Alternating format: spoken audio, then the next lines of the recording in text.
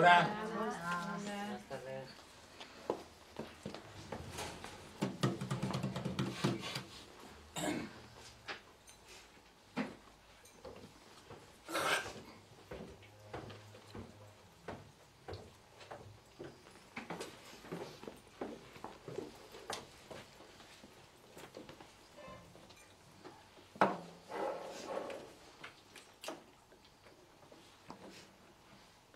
A Manuel Ortega. ¿Cómo? Ha entrado Manuel Ortega y saluda. ¿Cómo es? Que Manuel Ortega saluda. Buenas tardes a todos. Hola, muy buenas tardes, Manuel Ortega. ¿Desde dónde saluda? De.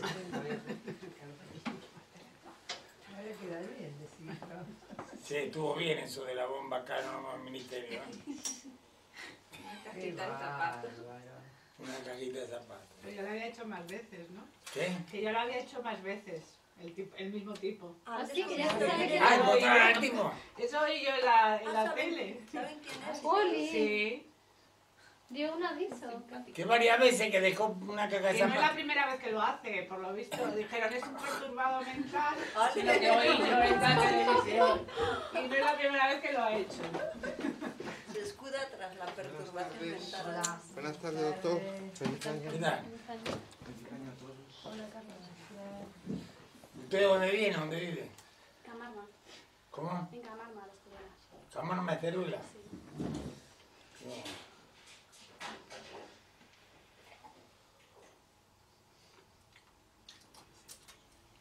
Ahí no puede llegar la bomba porque los terroristas no conocen el lugar. No por Saluda Ignacio. Mena. ¿Qué? Ignacio Mena, saluda. Hola, ¿qué tal, Ignacio? ¿Cómo te va? Bueno, señores, a ver, pregunten. No vamos a tildar las preguntas de inteligentes o no inteligentes. ¿Eh? Dependerá de la respuesta.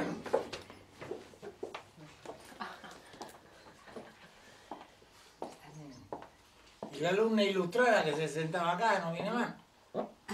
Ya no, es que el alcohol que en la Navidad y Año Nuevo. No, pero le pueden haber pillado los cortes de la... ¿Cómo? Si ha habido cortes de tráfico. Ah, le habrán pillado los cortes. Y ahora vamos a denunciar a, al Ministerio de la Poronga. ¿Qué denunciamos? No puede denunciar, ¿no? Te hicieron perder el trabajo, 200 mil euros, por una bomba falsa. ¿A quién puede denunciar? Agarrar al tipo que puso la bomba falsa y cagarlo a patadas. diga. Pero tampoco se sabe quién puso eso. Por ahí fue un tipo que dejó un. Por ahí fue sin intención, ¿no? Se sabe que, Una caja de zapatos en la que que dice se que puede se leer. sabe y que ya lo ha hecho más veces. Y que es un perturbado. Está turbado. Pues, ah, cualquier Turbado cosa. mental. En la caja ponía Me acabo de Storm. romper una uña. Estoy. Storm, que es tormenta en Ah. inglés. ¿Qué? En la caja ponía tormenta en inglés. Sí. Y activó el protocolo rápidamente de esa frase. Pero no. Pero yo, eh, pero de lejos se veía que no era una bomba. eh. Robot, perros, de todo. ¿eh? ¿Qué? Robot, perros, de todo. Y nada, al Pusieron el dinero que han gastado. Y después no tienen plata para la vitamina, no tienen dinero para la vitamina esta que necesitan los, los paralíticos estos de la vitamina C. Helicópteros. Helicópteros de vigilancia en el aire. Cortar las líneas 6, 8 y 10 de metro. Madre verlo mía. todo. Mira, es alojaron a Atocha estas navidades también, ¿no? Sí. La estación de Atocha también. También evacuaron a todos. Otra caja. También iba con una No, sí, hay que tener cuidado con tirarse pedos en la calle porque te pueden fusilar. Madre mía. No. Estamos al Cohete invisible. y pum, pum, pum, te En el estado de alarma estamos. Bueno, a ver, preguntas. Señorita, ¿de qué tema va a preguntar? Pues tengo aquí un par de ellas. ¿Cómo? Que tengo aquí un par de ellas. Bueno, pero ¿de qué tema? Vale, eh, concepto de ruptura. Muy bien, concepto de ruptura. Concepto de ruptura. ¿Por qué desconocemos la dirección de nuestros deseos? ¿Cómo es? Que por qué desconocemos la dirección de nuestros deseos. ¿Por qué le cortamos la dirección? ¿Por Porque Desconocemos, Desconocemos. la dirección de nuestros. Porque son deseos inconscientes. Si vos decís, tengo ganas de ir al retiro, eso no es un deseo. Yo que tenés ganas de ir al retiro. A la jubilación. igual. Es muy interesante entender esto. Porque la gente dice, ah, yo deseaba toda mi vida una mujer y me casé con un monstruo. El verdadero deseo era que se quería casar con un monstruo. ¿Sí? Que es el deseo inconsciente. El deseo inconsciente es el que produce los sueños. No está ahí en el sueño. Pero luego lo reconocemos, ¿no? ¿Cómo? Que lo, lo reconocemos. Interpreta. Reconocer sí, se reconoce. Pero no se sabe ni qué es, ni dónde viene, cómo... Conteste, explique qué le pasa con el sol. Como el sol, que lo vemos salir por el este y ponerse... Y el reconoce, reconoce, es el sol. Claro, reconozco, es el sol. ¿No? Y confunde Confunde el movimiento aparente del sol con... con el movimiento real. Sí, que mueve la En Tierra. realidad el sol gira, pero alrededor de otras galaxias, que por ahora no tengo información sino de la poesía. Pero debe haber otras galaxias alrededor de la cual, donde el sol es una luna, muy interesante, ¿no? La transformación del travestismo y todo ya está anunciado en, eh, en- en el cielo. Hay el sol, alrededor del cual gira todo, de golpe entra una galaxia donde es una luna. Él gira alrededor de otros soles. No ni creer. ¿Qué tal, Mena? ¿Lo crees esto? Marisa Rodés también ha saludado.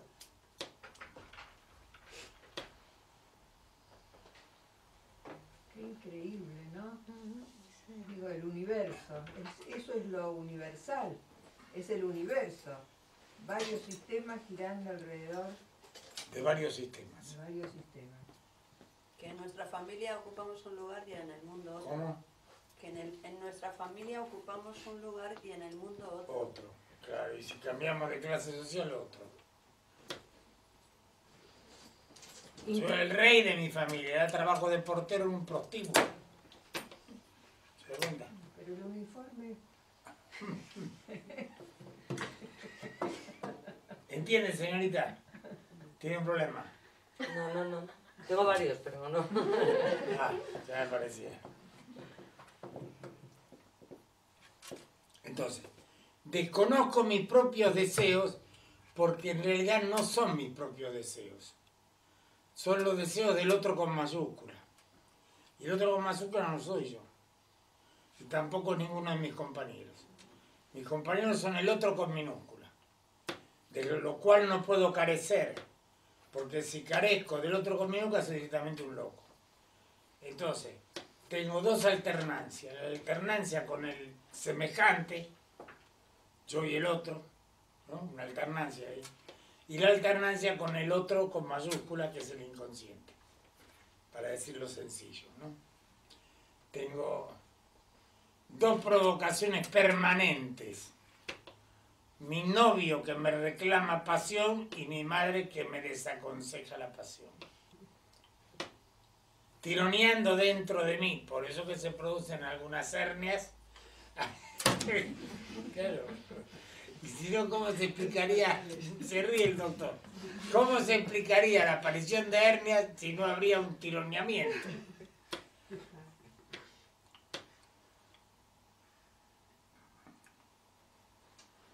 Vivimos permanentemente en dos realidades. ¿No? Y Freud, que era un genio a pesar de mis detractores de Internet, ¿cuántos detractores que tengo? Pero no es que me quieran destruir a mí, quieren hacer desaparecer el psicoanálisis, se parecen a Hitler, que quemó los libros de Freud en la plaza pública. Fue lo primero que hizo. Quemó los libros de Freud y de Marx de la biblioteca en la plaza pública. ¿Sabías? Sin embargo, no te comportás como si eso hubiese ocurrido.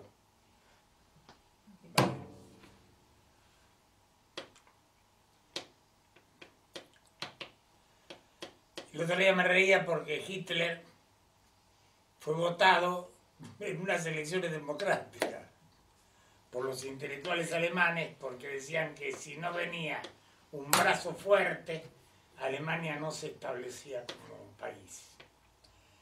Y apareció Hitler. Pues ya los intelectuales no me gustan, porque los intelectuales son estos que están discutiendo con nosotros. Le hicieron dos páginas, le hicieron una página de Lacan donde dice que todo es simbólico para el hombre. Pero eso no quiere decir que no tenga estructuras presimbólicas el hombre. Si hacemos un corte así de la realidad, aparecemos usted y yo. Pero si hacemos un corte así de la realidad, aparece desde el año 2800 hasta el Paleolítico Inferior. Todos viviendo en la ciudad de Madrid. Que en Madrid nosotros nos cruzamos por la calle con gente del año 2800 y con gente del Paleolítico Inferior. De la de bronce, nos volvemos a encontrar con Sinué, que se ganó el prestigio no tanto como médico, sino por haberle descubierto el acero a uno de los ejércitos que estaban en la contienda. Entonces con el acero ganaron la batalla, la primera, ¿no? Porque después, como acero hay mucho, los otros también. Eso es parecido a Lavoisier, cua- Lavo- Lavoisier, Sí, cuando dice, nada se pierde, todo se transforma. ¿Quién es Sí. parecido a eso?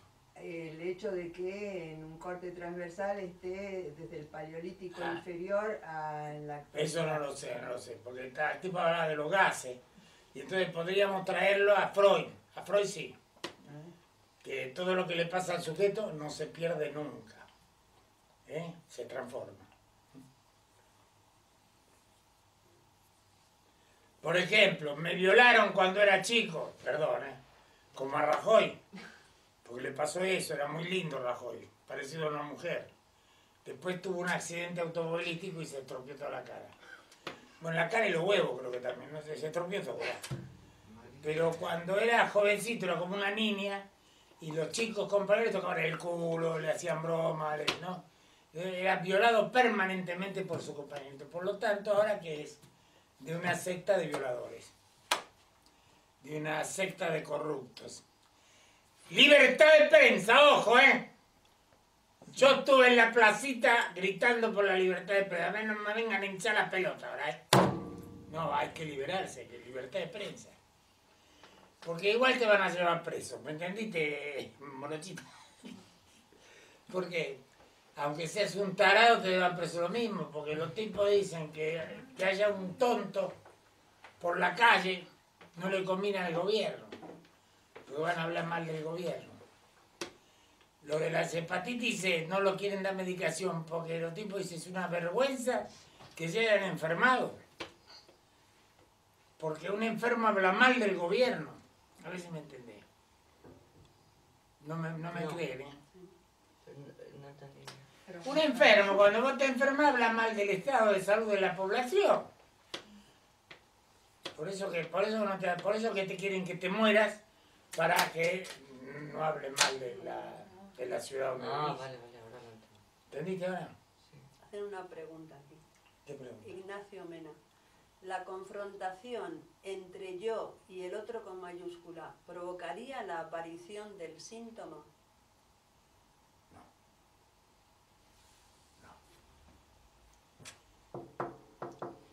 Sin super yo no hay síntoma.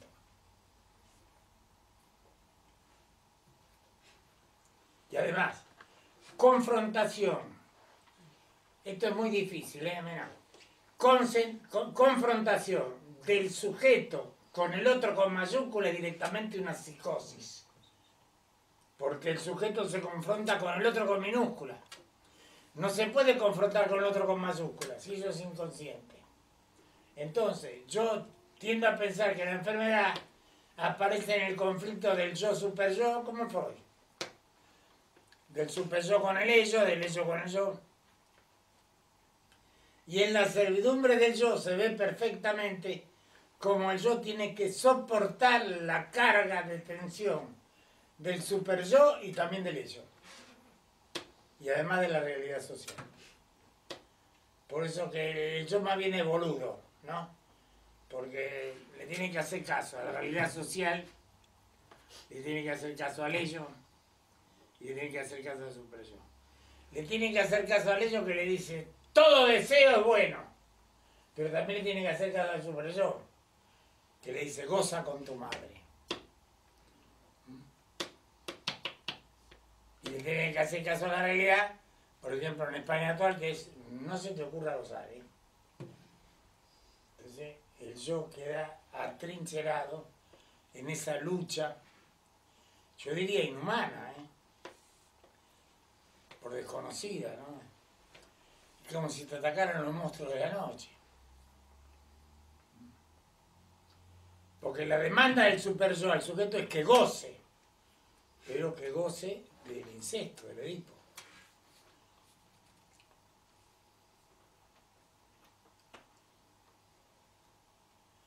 Y después el deseo inconsciente, ustedes saben cómo es, lo de los, están las pulsiones, ¿no? En el yo, en el, en el yo están los efectos de las pulsiones.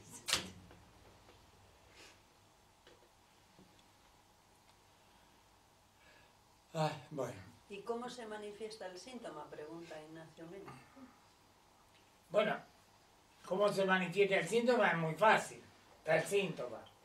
Es en realidad cómo se produce el síntoma y cómo hay que rastrear para ver si lo podemos curar. Por ejemplo, hoy tuve una discusión que me hablaron de la piel, que la piel es el órgano más profundo. Y yo contesté que últimas investigaciones de hace, cuando digo últimas investigaciones hablo de 50 años, ¿no? que era cuando yo estudiaba.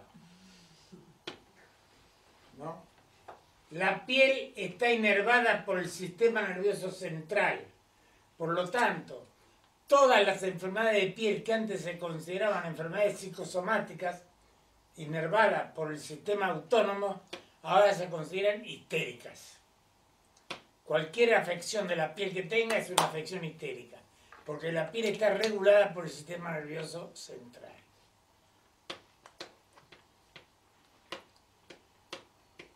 este granito que me sale acá, no van a decir que es psicosomático. ¿Eh? Claro, es un granito que tengo acá. Del sistema nervioso central quiere decir que tiene historia. Yo nunca tuve granito, por lo tanto no es la vuelta mía a la juventud, pero veo a todos los jóvenes con granito en la cara. ¿Ustedes ven? Que ahí actúa una historia, el sistema nervioso central. Sí. No pregunta más de momento. No, claro, la manifestación del síntoma está ahí, el síntoma está ahí. No sabe hablar, tartamudea, respira mal. ¿A quién descubrí que respiraba mal? Ah, Estoy descubriendo... ah, Zapatero me parece que Zapatero, qué mal que respira, vos sabés. Pero el ministro de, de Interior también. Hace así. Le decimos así. Como si iba a llegar al aire, ¿no? Para decir toda la frase. Pero, no pensé si no sería ¿Cómo? angustia. Puede ser angustia también, puede ser angustia, pero ya se tienen que venir a psicoanalizar. Si no se viene a psicoanalizar, trastorno respiratorio. ¿Sabes lo que tuve que luchar yo para convencer al médico de que estaba, estaba un poco angustiado? Vale. ¿En qué estábamos? ¿Entendiste algo? ¿Entendiste nada? conocimiento, ¿no? Después, por ejemplo, la historia del falo es linda, la historia del falo es buena, porque la historia del falo es como el valor en la mercancía. El valor no está ni en la mercancía A ni en la mercancía B, pero el valor permite el intercambio de la mercancía A la mercancía. El falo es la misma historia en el hombre y la mujer. El falo no tiene ni el hombre ni la mujer, pero regula la relación entre ambos.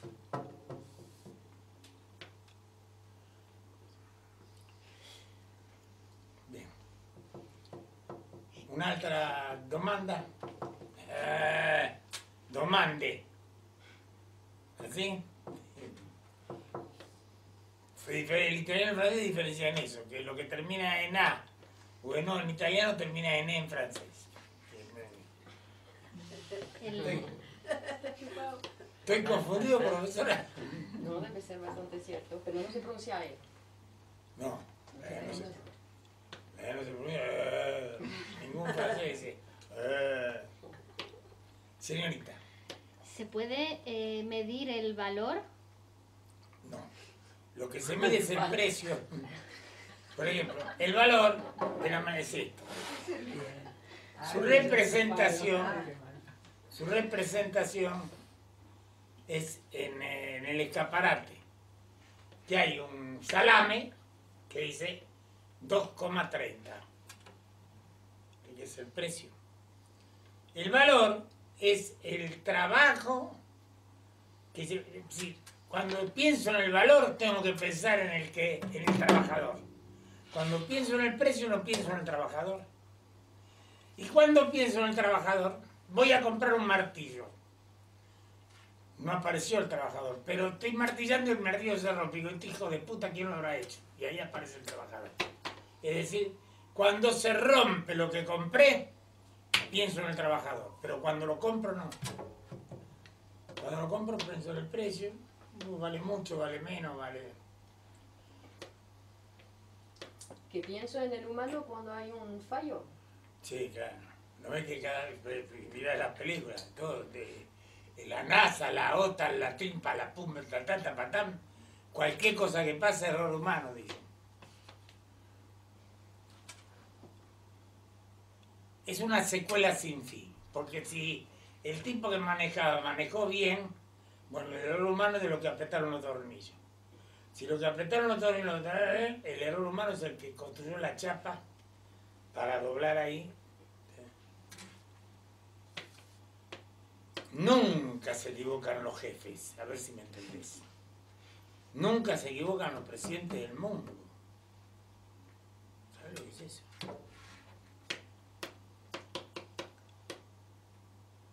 Bueno, pero cuando veo un puente también puedo pensar que hay un ser humano o varios que se han puesto de acuerdo para construir eso. ¿no? Para construir un Aunque puente. funcione perfecto. y que Pero tengo que ser muy inteligente, porque generalmente el puente lo cruzo rápido, con el miedo de que se rompa. De que lo hizo un humano. Con el miedo que se rompa. Vale. Viste que el mundo ¿no?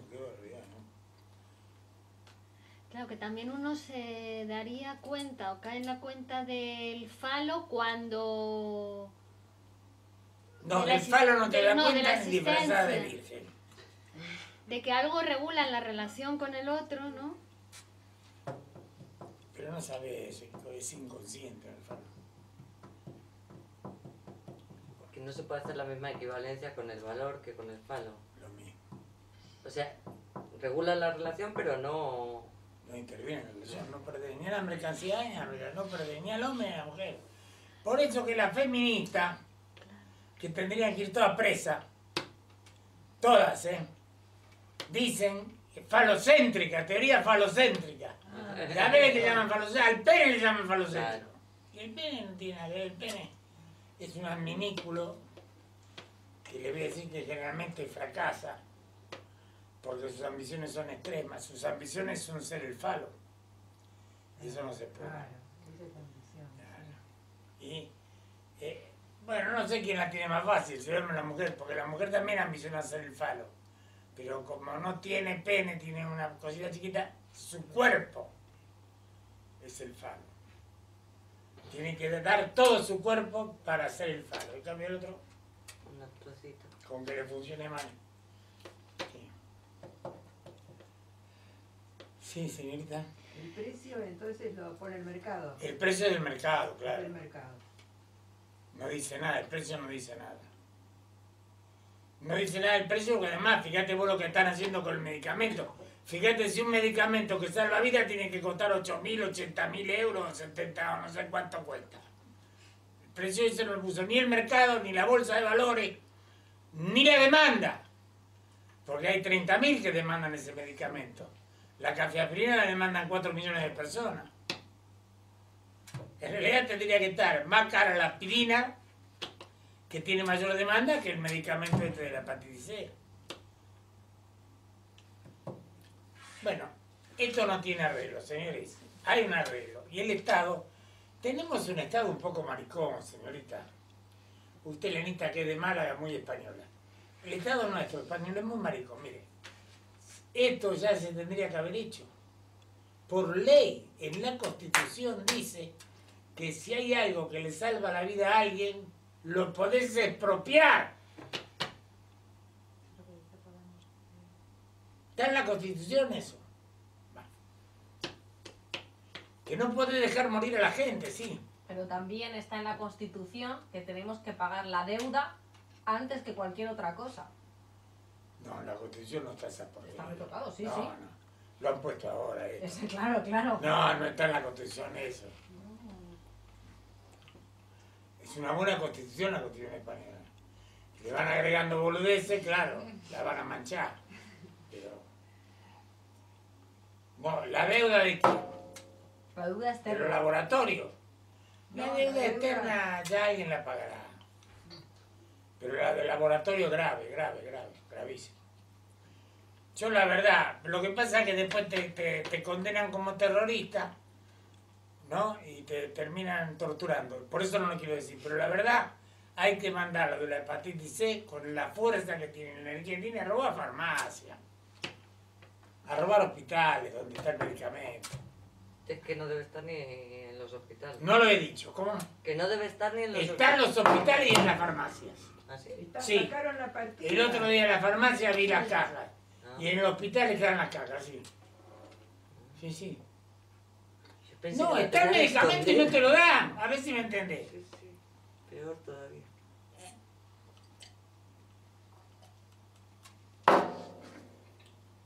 Dame un poquito de amor. Que no te doy, que no te La doy. economía política ha sido arrasada entonces, ¿no?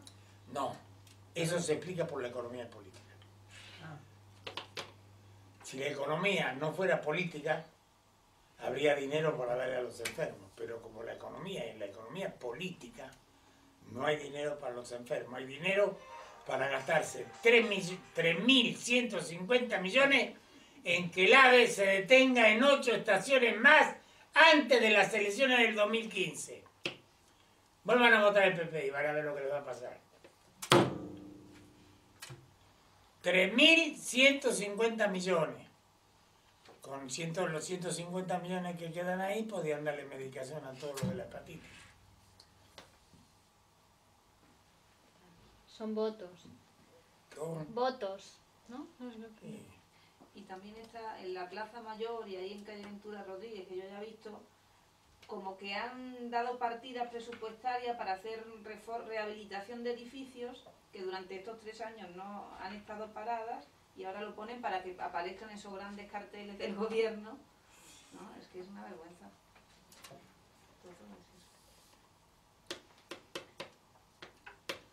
Por eso que la, la formación grupal, ciertas formaciones comunitarias son absolutamente necesarias para la vida del hombre en las ciudades. Porque la familia no alcanza para proteger al ciudadano.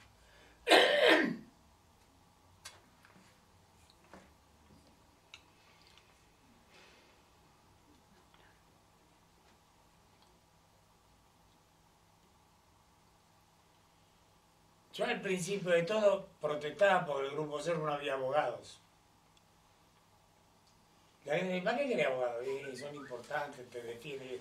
Después me di cuenta que a 30, 40 psicoanalistas no los ataca nadie porque son mortales, ¿viste? Te entran a interpretar y te molestan. Los llevas a la cárcel, interpretan a la gente y se revelan los policías. Los llevas al hospital, las enfermeras se vuelven locas de amor. No, no va. Entonces, pero eso me di cuenta después. Pero al principio, cuando yo era más joven, yo pedía que hubiese abogados, letrados, para que nos defendieran. Nadie persigue la maldad, señoritas, señores. Nadie. nadie persigue la maldad, nadie persigue la delincuencia. ¿A vos te parece que se puede perseguir la de, a, cuándo empiezan a perseguir? Estaban esos ladrones de casa, habían robado 8.000 casas. En la casa 8.000 uno agarraron, ¿sabés por qué? Porque en la casa 7.999 era un amigo de la policía. Entonces denunció y entonces encontraron a los ladrones, eh, pero 8.000 casas antes habían robado. Bueno, no 8.000, no, 300, 400, lo mismo, ¿no?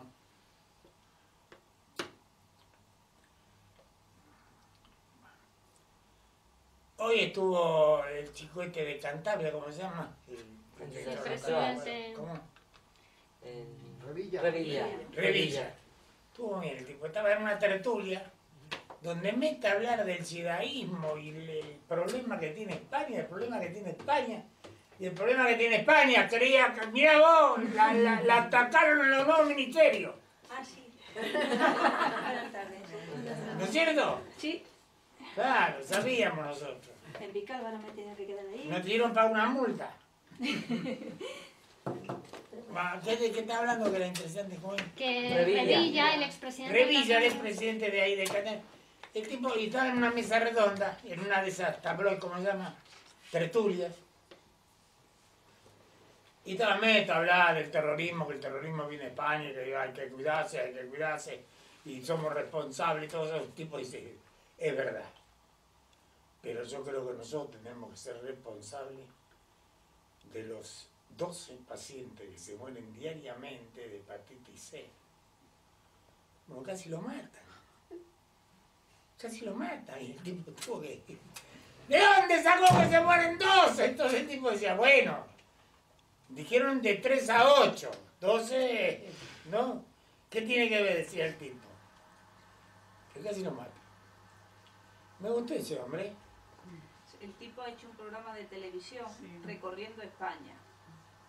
Y además contrató, eh, hicieron un, un concurso para elegir un taxista que lo llevara. Porque pues, y el taxista, con el dinero que ha ganado, de la impresión que le ha generado la experiencia, lo ha donado a una ONG.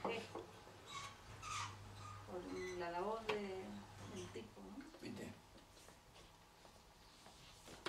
Ustedes cuando van a ir, acuérdense del grupo cero, por favor, que es una ONG doble, Total. porque tiene en cuenta el consciente y tiene en cuenta el inconsciente. ¿Qué ONG tiene en cuenta esas dos cosas? Bueno, a ver, preguntas. Usted debe venir afilada, obviamente. Muy afilada, sí. Bueno, pero ¿De qué tema, dice?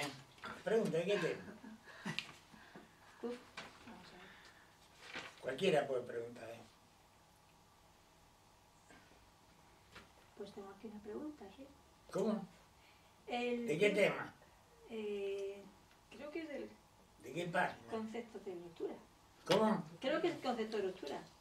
Ruptura. Del concepto de ruptura. Concepto de ruptura, muy bien, Vamos a ver, adelante. Cuando lo hagas, Adelante. Bueno, A ver. eh, el tiempo que maneja el inconsciente es el de... No, no, escúchame. Ya te olvidaste, tenés que hablar con la boca abierta. dale. Vale. Es que vengo con el susto de la bomba y... A ver. ¿Te asustaste con el asunto? ese? Bueno, sí, me quedé así un poco sorprendida. Claro, era una cajita zapada. Pero yo cuando salió el tren salí corriendo. Y digo, no sé dónde voy, pero me, me bajo de aquí. Claro, paraban a todo el mundo. ¿Te lo dijeron en el tren o qué? No, no dijeron eso, que por motivos gubernamentales que el tren se paraba. Madre mía.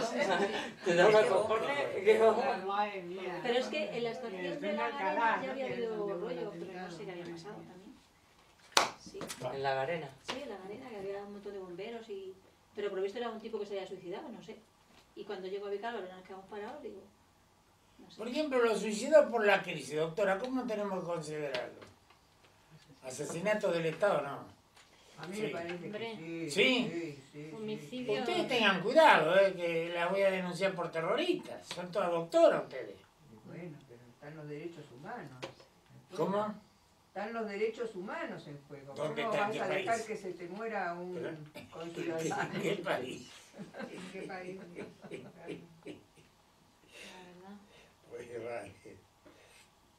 A ver, venga. A ver. El tiempo que maneja el inconsciente es el de pulsión de muerte. A usted le gusta mezclar todo el tiempo que maneja el inconsciente y el futuro anterior.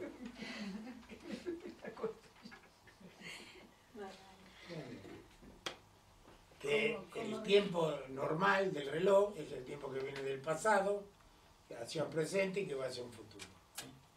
Ya, El futuro anterior es.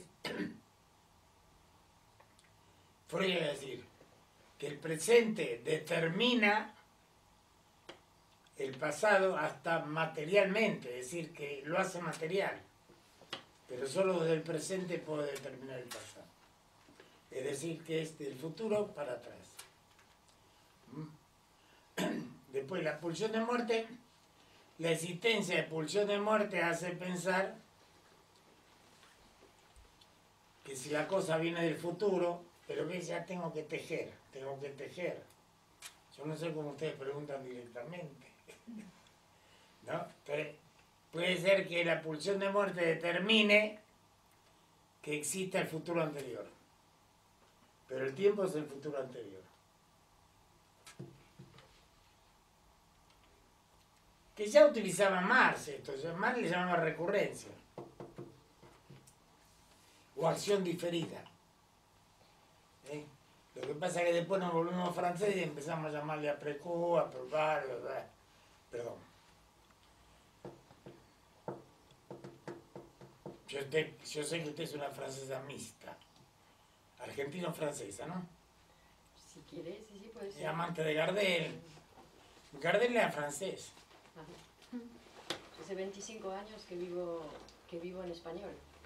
Parece que está, está toda contaminada. Y yo creo, sí. Sí, que ponga la firma.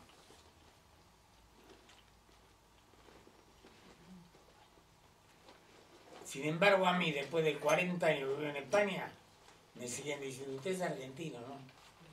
Sí, pero esos son los demás. Y yo le digo, sí, de los huevos. Porque de todo el resto soy español, si pago impuestos acá en España. Estoy jubilado y sigo pagando impuestos. A ver, señorita. La otra pregunta que tenía que ver con... Adelante, la segunda pregunta. Va a ver cómo se la aclara ahora. Eh, este es de- del apartado de concepto de trabajo. A ver, ¿Podemos transformar la realidad inconsciente en realidad objetiva? doctora Alejandra Manasa, conteste. Yo diría que no. Son dos realidades diferentes. Si la transforma en realidad objetiva ya es conocimiento, ya no es más realidad inconsciente.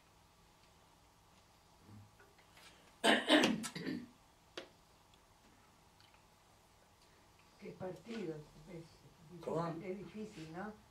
Esa, esa partición ahí entre sujeto de la conciencia, sujeto del inconsciente, ¿no? Entonces, Digo que no, que es difícil de comprender. no, ¿qué va a ser difícil? No es difícil. Usted no sueña, usted no sueña. Sí, sí, sí. Claro, Sí, bien. que sueñas. ¿Y sueña con la realidad? No. Con un poquitito de la realidad. ¿Qué está? Este, que No es tan difícil. Lo que hay que preguntarse es por qué solo aparece el inconsciente produciendo efectos solo cuando dormimos. Bueno, porque baja la censura. Porque de día tenemos la censura muy alta, entonces no aparecen los contenidos inconscientes.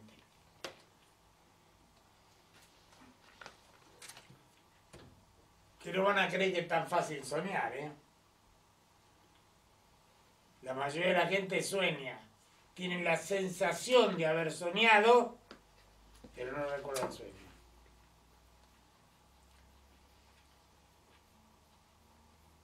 Los científicos estos neurológicos, esos que estudiaste ahora, dicen que soñamos cada 20 minutos.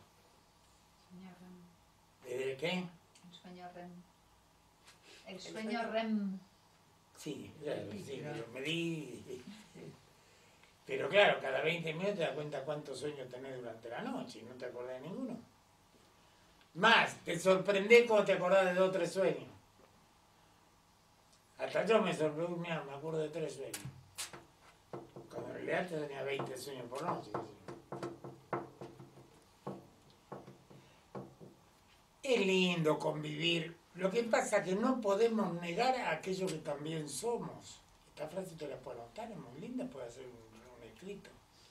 No podemos negar lo que también somos. Y somos también inconscientes, entonces no lo podemos negar. Olvidarse la llave de la casa adentro de la casa. Es una cosa inconsciente, como la conciencia, el razonamiento, ¿cómo te vas a olvidar la llave adentro de tu casa? Ayer vi una película con unos delincuentes. Tenían a un tipo encerrado en el baúl y la llave del baúl se la dejaron adentro del baúl. ¿Ves que no puede ser? Eso es una maniobra inconsciente. ¿Cómo hiciste eso, animal? Decía el otro. ¿Ves no? Una mano extraña actuó ahí para que la llave estuviera dentro del baúl. Sí.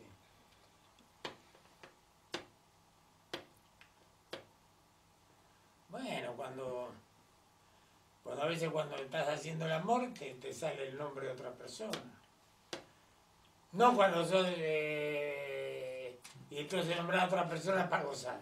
No. Que te sale el nombre de otra persona y después te matan por eso. Abrazar a tu madre y decir, ¿qué tal, Carlito? Y tu madre se llama Gustavo. Eso es inconsciente. Que también uno puede decir, che, fue inconsciente. Pero parece que no vale como excusa, ¿viste? Cuando tendría que valer.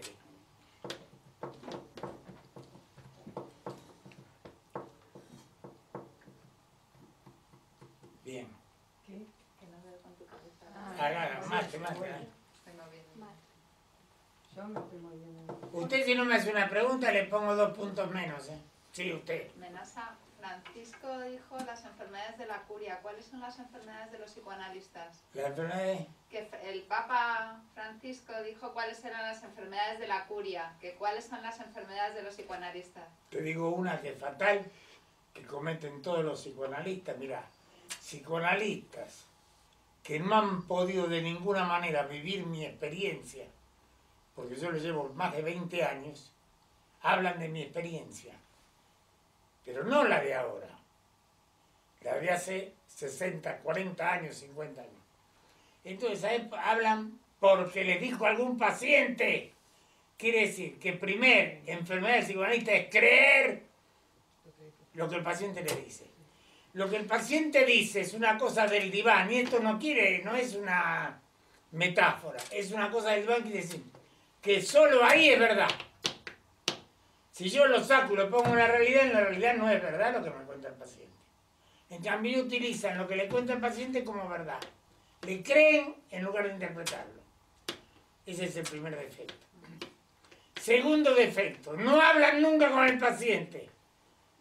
Mala educación. Tercero, cuando hablan, hablan de la mamá del psicoanalista. Cuarta equivocación. ¿Querés más?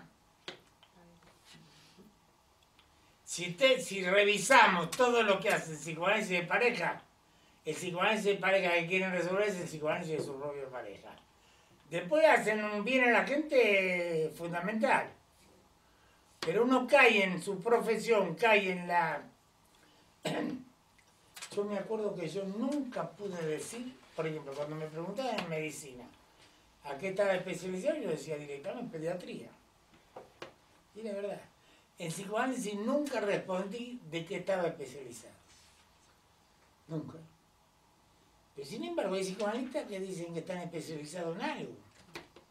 Bueno, es porque se están estudiando a sí mismos. Quieren comprender lo que les hizo la mamá. Y eso no se puede comprender. ¿Te das cuenta? Mira si te.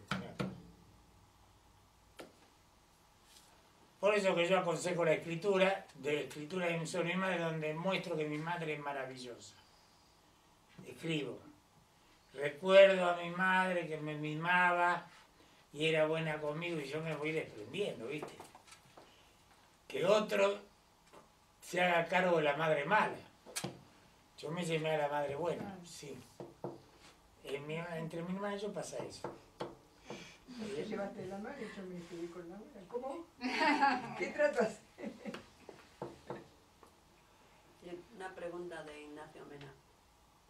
Ignacio, dinos la página porque no se entiende muy bien. A ver, hay un párrafo en el capítulo de la escritura como base material que dice, un síntoma puede transformarse, pero ningún psicoanalista dará cuenta de la estructura determinante de ese efecto en la realidad.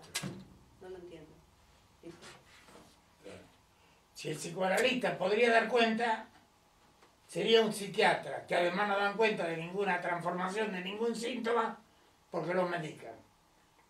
El psicoanalista no sabe cuál es la interpretación que le hizo bien al paciente, no lo sabe. A veces ni se imagina, a veces dice una tontería y el paciente viene al otro día, a la semana siguiente así, Uh, qué interpretación que me hizo el otro día, casi me mata, estuve todo el día pensando en mi hermano. Y el psicoanalista no sabe qué interpretación fue. Señores, el que no tolera la incertidumbre no se puede dedicar ni a la poesía ni al psicoanálisis. Así que cuando yo digo que somos dobles, somos dobles, porque somos psicoanalistas y poetas. Por lo tanto hay que soportar la incertidumbre. ¿Sabes cuántos poetas se suicidaron porque no soportaban la página en blanco?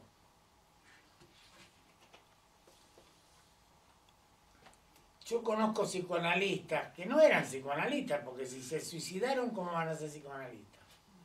La negra Verasturi se pegó un tiro en la fiesta de Navidad, invitó a todos los jerarcas de la, de la institución psicoanalítica y se pegó un tiro delante de todo el mundo. Esa no era psicoanalista, esa me jodé. Esa de la- era de la internacional, así que este, ser psicoanalista de la internacional no es ninguna cosa buena.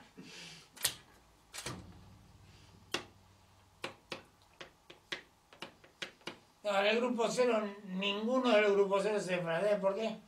Los hacemos desaparecer porque estudiamos magia también.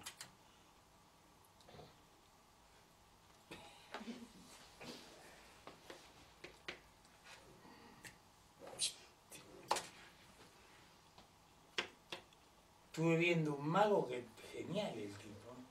Entra al supermercado y la fan se dieron cuenta que era y empezaron a gritar, ahí está Maimén, que se llama Maimén. Y el tipo no podía soportar de lo que hizo, desapareció. Dejó la ropa en el supermercado y se fue. Lo encontraron a 400 metros de nudo y lo metieron preso. Que el tipo realmente del supermercado desapareció. Dejó la ropa ahí.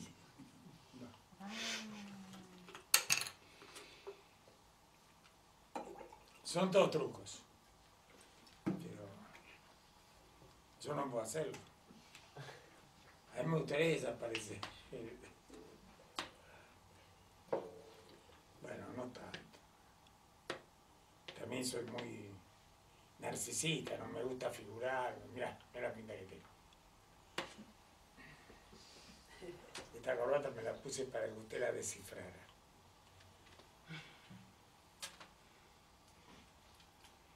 Por favor. Entonces la interpretación es inconsciente. Sí. Porque no es que yo me la piense la interpretación. Si me la pienso, vuelvo a decir, soy un psiquiatra, soy un psicólogo. De estos boludos que creen que hacen psicoanálisis. Yo estoy conversando con el paciente y ahí está la interpretación. Porque lo único que tengo en mi mente es el relato del paciente. No tengo nada en mi mente.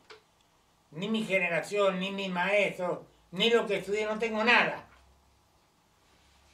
Entonces soy transparente, diría el poeta. Soy transparente.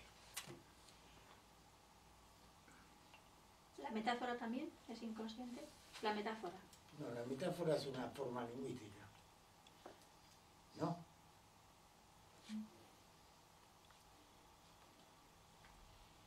que solo es posible cuando hay un en común.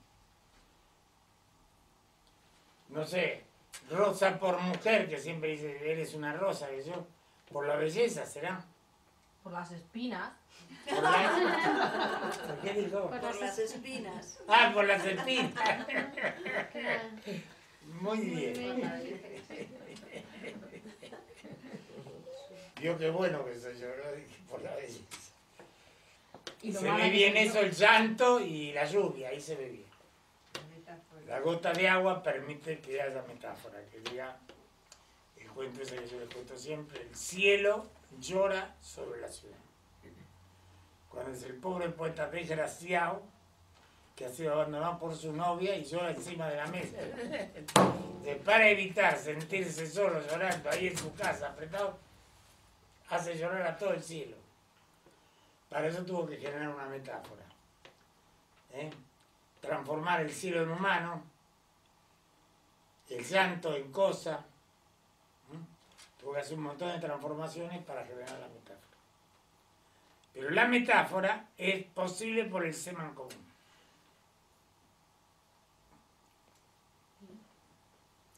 Eh, lo que sí que sería inconsciente sería... Cuchillo. Cuchillo. Y tenedor, me dice. Eso es del lado de la metonimia. Una parte por la totalidad.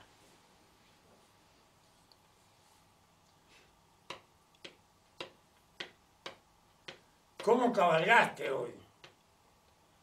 ¿Cómo cabalgaste como un caballo?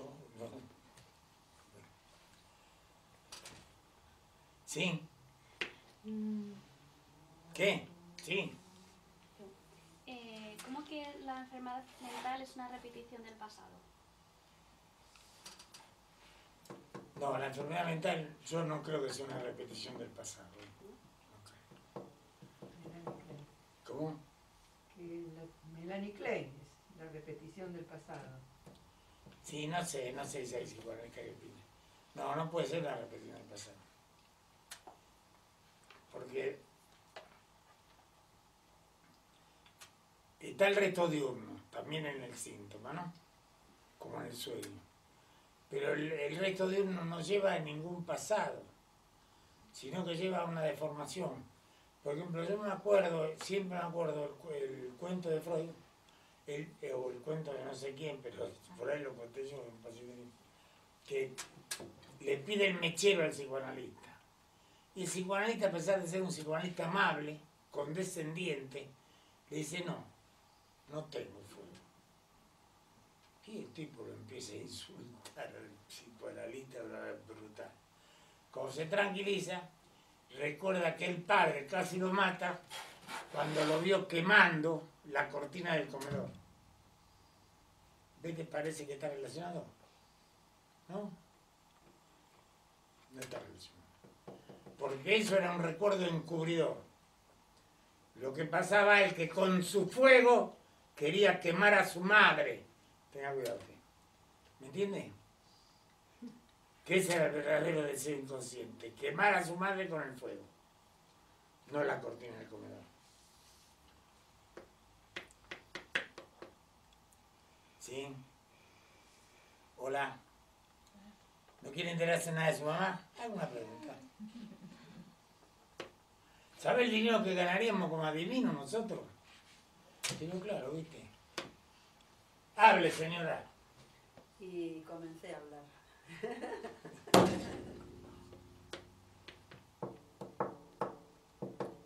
Cuando el paciente dice mi psicoanalista me dijo, todavía ahí no entra. Nah, es para, para nada. convalidar, para...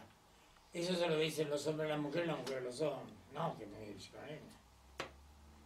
Querida, ¿por qué hoy no querés hacer amor si todos los miércoles hacíamos el que mi psicoanalista me dijo? Los miércoles no. ¿no? Además, cuando van a contar chistes de otros yo no les creo, viene el paciente de otro psicoanalista y me habla pestes. Yo no, se lo- no le creo ni una palabra. No voy por ahí diciendo que es malo este psicoanalista, ni hablar. Bien le anoto un asesinato al paciente. tengo que tener cuidado con este paciente que ya mató a dos psicoanalistas.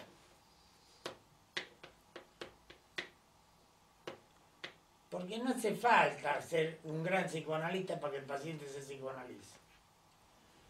Y lo que pasa si el paciente tiene ganas de psicoanalizarse, se psicoanaliza con un árbol.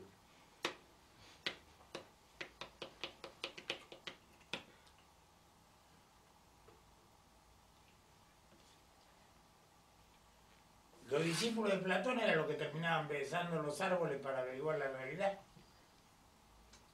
Sí. Claro. Para negar el pensamiento simbólico de, del maestro, los tipos eran capaces de ir a besar los árboles para creer que en la realidad estaba la verdad. Y en realidad no hay ninguna verdad, ¿viste? Pero además esto ya... eh, Kant, mira lo que te digo. No, a ver si me acuerdo bien, porque... Kant pone un sujeto conocente en la realidad. Porque antes se pensaba que los objetos tenían el conocimiento del objeto. Porque eran esenciales, eran divinos. Los objetos eran cosas de Dios. Entonces llevaban en sí mismos la explicación de sí mismos. Entonces Kant pone un sujeto conocente en el, espacio para mostrar que si no hay sujeto conocente no hay objeto. Y que además demostró él, Kant, que el objeto se modificaba al conocerlo.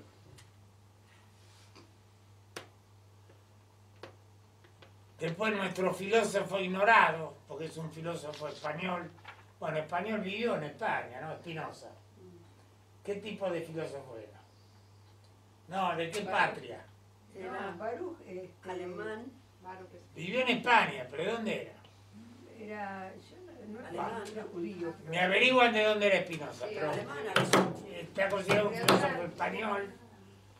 Espinosa fue el que dijo, no solo se modifica el objeto en el, en el, en el arte de conocer, se modifica el sujeto conocente, que es lo que el psicoanálisis toma. Holandés, dice Manuel Ortega, pero... ¿Cómo? Ámsterdam. Sí, en. Países Holandés. Holandés. Bueno. No, no parecía holandés, ¿no? Pero como fue del Porque era muy apasionado. era alemán, Era español. De origen safardí portugués. Safe- sa- eso sí. Safardí por- portugués. Eso, eso Era crítico gustaba. de Eso. Porque era caliente el tipo, ¿no? No podía ser un holandés. Además, cuando él hacía filosofía, los holandeses se dedicaban a, a raptar a los negros de África y a hacerlos esclavos. No se van a creer que los holandeses son los que fuman marihuana. Vale. Ahora fuman marihuana para olvidarse de su pasado. Pero buena pieza. Bueno, entonces, pero el psicoanálisis toma eso. El psicoanálisis dice que el psicoanalista que no se modifica con la interpretación no ha hecho ninguna interpretación, por lo tanto no es ningún psicoanalista. Está bien.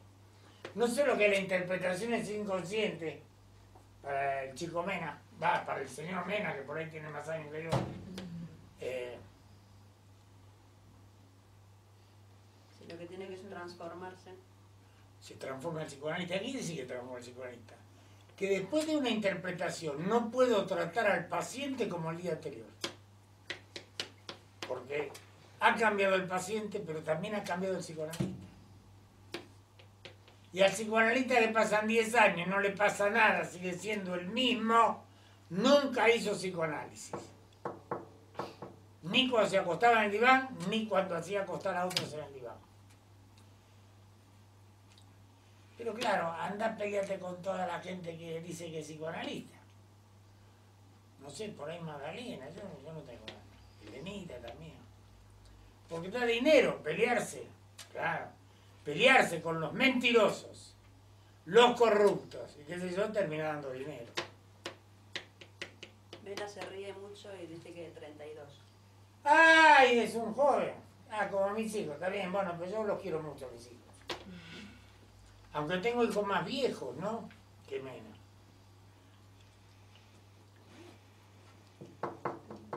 Si un psicoanalista arregla su mundo psíquico, también arregla el del paciente. Total, querida. Un psicoanalista, y esto lo- se lo digo a, a los televidentes también. Un psicoanalista cura más por lo que es que por lo que dice.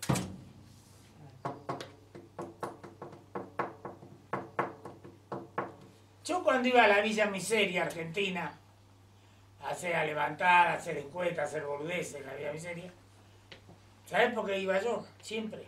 Porque las psicólogas que trabajaban conmigo no querían tomar mate. Porque tenían miedo de contagiarse. Yo iba, tomaba mate con los tipos los tipos me decían lo que yo les pidiera después. Bueno, eran capaces de ir a robar por mí. ¿No? Tuve una maternidad en un barrio pobre. Los chicos jóvenes me querían tanto que en lugar de andar robando a la gente del barrio, robaban a las grandes empresas, a los grandes comercios, robaban instrumental de cirugía, cama de parto, eh, luces, que es lo que yo aconsejo ahora con el medicamento de la hepatitis. O lo robamos o se nos mueren todos los hepatitis.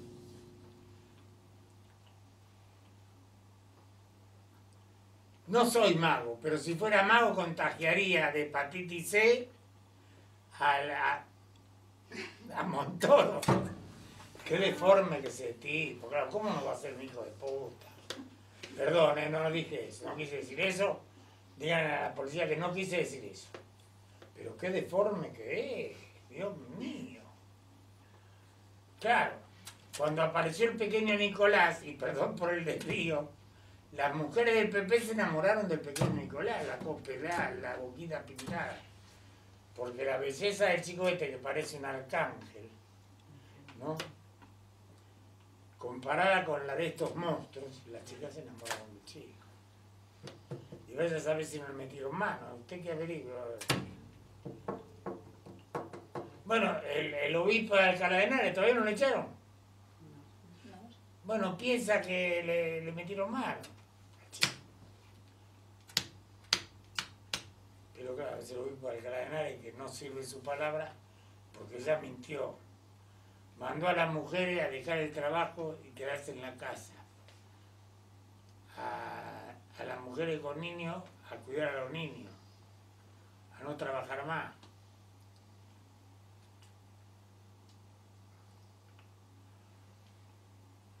Bueno, les mandó a cortar la mano a dos adolescentes y hacían la paja. No se lo permitieron porque la ley impide cortar la mano a los chicos hacer la paja. Pero el tipo mandó. Ahí es más fundamentalista que Joiménez. Perdón, y yo tampoco lo dije. Por ejemplo, yo pensé también con respecto a esta revista y las caricaturas de Mahoma y todo eso, si hubiera aparecido la Virgen María haciendo... No pasa nada. Pero lo hubiera dejado la iglesia. No pasa nada. Y sí, mira, lo que pasa, bueno, está bien, los tipos eran muy famosos. Pero yo dije. Eran muy. La Virgen María, la Virgen puta, que yo. Famosos. Pero claro, mis libros los leen cuatro personas, así que. Que no lo sé. Que está prohibido. En la. En la Constitución Española está prohibido hacer eso que hace la revista esa, acá está prohibido. Burlarse de las religiones es una cosa prohibida por la Constitución. Es. Que esta mañana un loco pedía que por favor se anulara ese artículo.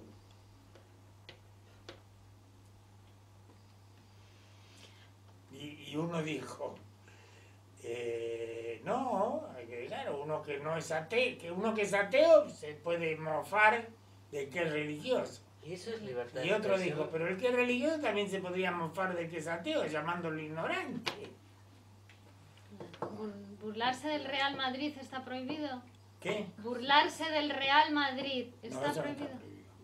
Pero Godard hizo una película donde a la protagonista la llamaba María y hacía cosas de mujer y le dijeron que era la Virgen María y fueron todos los cristianos a protestar a la entrada del cine y casi lo queman.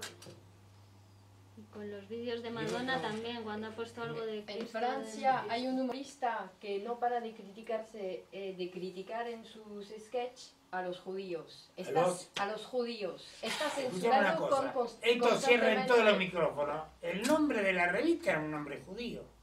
El Charlie Hebdo. Charlie, Charlie, Charlie por De todos modos, en el periódico judío francés están diciendo que apoyan al gobierno francés, que lamentan lo que han pas- ha pasado, digo que se sienten ahí tocados. Judíos, judíos. Solamente a un judío se le ocurre hacerle broma a Mustafa. Que yo pensaba, ¿eso es libertad de expresión, Menas? ¿Cómo? No. Eso no es libertad de expresión. ¿En dónde? Lo que hacía esa revista. No, es que en los países capitalistas satírica. no hay libertad de expresión ni que te cagues en tu madre, ¿no? Que no hay hablar de del rey. Era política. No hay en ningún lugar de expresión. Era una cuestión política. Sí. Estaba Un financiada. desprecio, un desprecio a los musulmanes. Ujú. Un desprecio. Un racismo. Tienen derecho. Pero vos calculás de los 3.000 yidaístas que fueron a pelear a Irak, a, a Siria ahora con el Estado Islámico, mil, mil cien son franceses. Así que fíjate el quilombo que tienen. Este, Y además van a pelear y después vuelven. Y cuando vuelven, vuelven muy ejercitados. ¿viste? El fusil ese es muy difícil de manejar y el tipo lo manejaba como un revólver. Cuando pasa por el policía así y le zampa un tiro, no sé si en la cabeza o no sé dónde.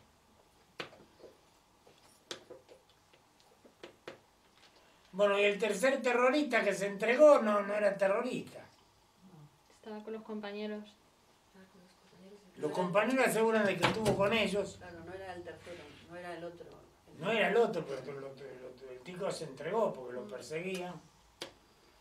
No, es muy difícil, es muy difícil. muy difícil. Ahora están atrincherados, ¿no? Los terroristas. Atrincherado quiere decir que o le tirás bombas desde los aviones o cuando lo vas a buscar muere alguien. Eso quiere decir atrincherado.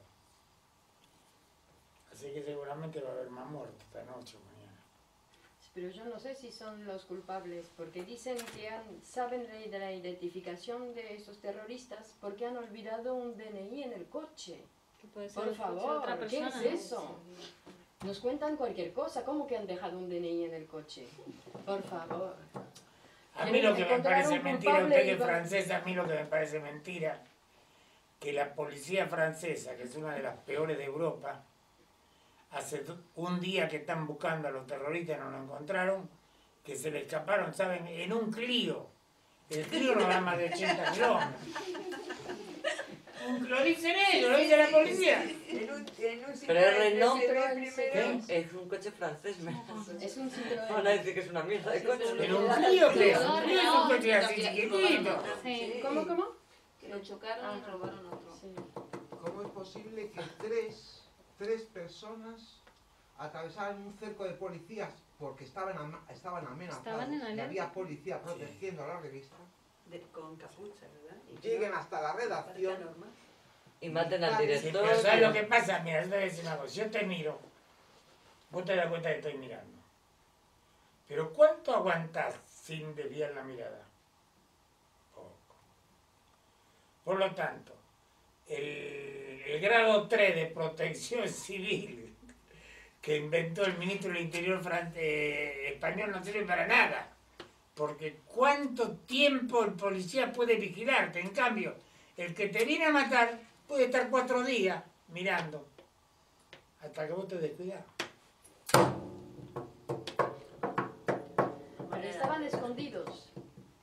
Estaban, eh, Total, la, la seguro, sede del- de, la revista estaba escondida, habían pedido a los vecinos del inmueble que no dijesen a nadie que ellos estaban ahí, no había nada que informase que la revista estaba ahí. Eso es Y ridículo. tenían un código secreto para poder entrar, que pillaron una dibujante, le pusieron es- la, Eso es lo que cuentan. Habían averiguado todo, sabían que estaban reunidos. Sabían. Sabían que estaba el Sabían director. que había- Sabían que estaba lo que hacen las viñetas. Los dibujantes, todo.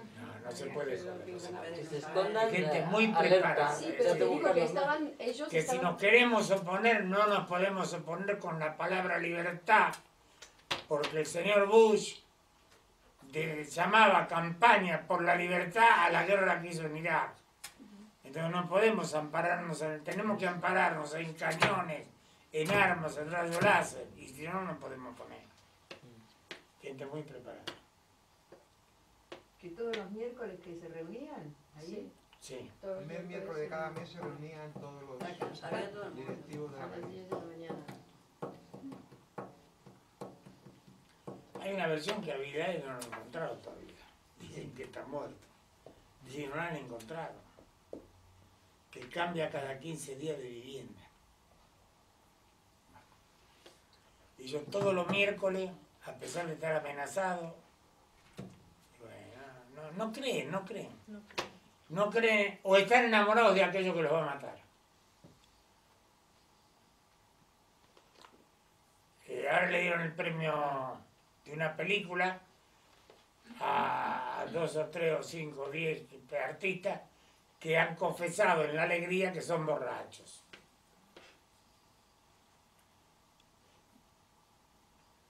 Hay un tango que dice, el que gana y se embalura, el que gana y se enloquece, se denuncia sin pensar.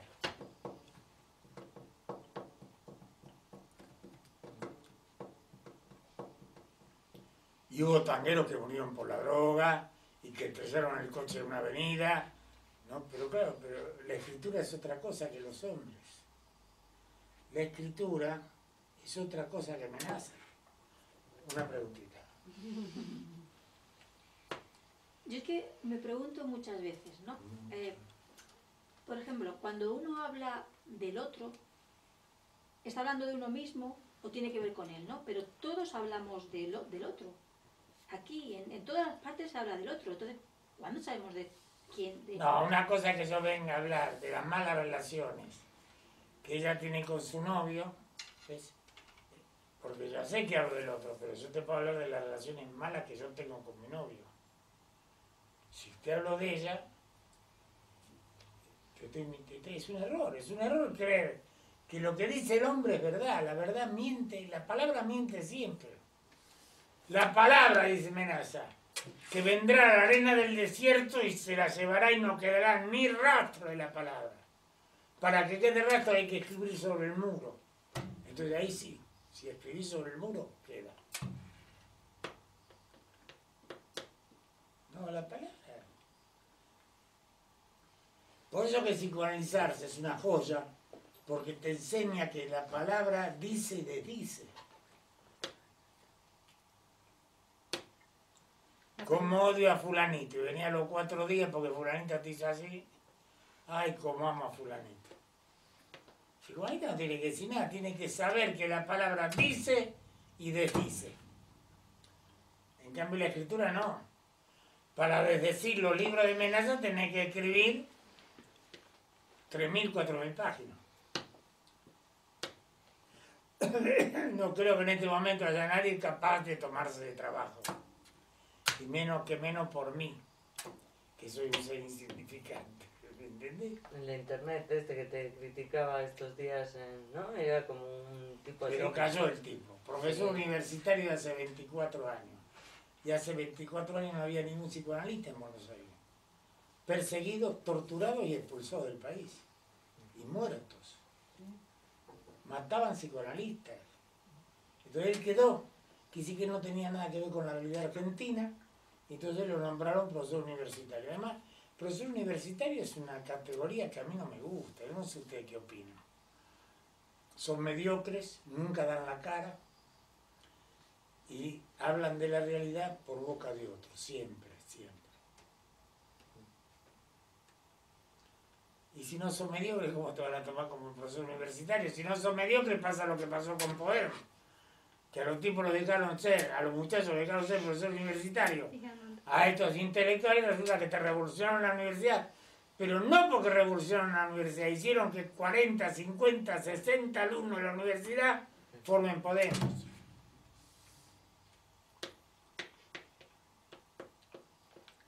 A mí no me llevan a la cárcel porque temen que le modifique el sistema penitenciario. Eso le preguntaron a Pablo Iglesias, ¿por qué no revolucionó usted la universidad? Y dijo, porque la La universidad se va a estudiar. ¿Quién es ese? Dice Manuel, ese sí que era un hijo de puta, más que Montoro, pobre hombre. ¿Quién? ¿Quién? ¿Quién? ¿Qué dice? Pues, no sé. El de internet. ¿Quién? ¿A El quién de no? internet o. El de internet, no sé. El de internet. El que estuvo discutiendo con. Sí, el pie ese, Acentuado. El pie acentuado. acentuado ese. Yo lo he ¿Cómo se expulsado. ¿El pie acentuado? Sí, pie acentuado. Que era la Sí, pie pija. sentado, pene pequeño. Fija que no se ve. Sí, facilísimo descubrir a la persona. Alguien quiere se llama pie acentuado. Yo lo he bloqueado. Pie acentuado es pie. Pasa el día piando. Yo lo tenía en aforismo, se había notado. Le llama un poco fetichista el hombre, ¿no? En lugar de su cara tiene un, pie. Un pie con una cara Con de- caritas dibujadas. con ojos y boca. Y No, otro- mirá, Ese metió la pata. como yo, con nombre y apellido, filiación, edad. Porque además, ahora estoy pensando una cosa. Gracias, Mena, por decirme tu edad. Manuela, sí. Que yo estoy pensando que la gente me tiene que decir qué edad tiene. Porque, está bien, ideología política me importa un carajo porque en la primera frase que dice me da cuenta. Los libros que leyeron tampoco me lo tienen que decir porque en la segunda frase yo me doy cuenta los libros que todavía no leyeron. Pero eh, la sexualidad, la edad, me lo tienen que decir. Si no, no discuto más con nadie. El nombre y los apellidos, que tú los tienes ahí. ¿Cómo? Que tú tienes puesto tu nombre y apellido. Total, mi nombre y apellido, mi edad y mi heterosexualidad. ¿Eh? El otro día explicaba, mira, relación homosexual, los hombres todos tenemos un montón de relaciones homosexuales los hombres. Lo que no podemos los hombres es tener relaciones heterosexuales.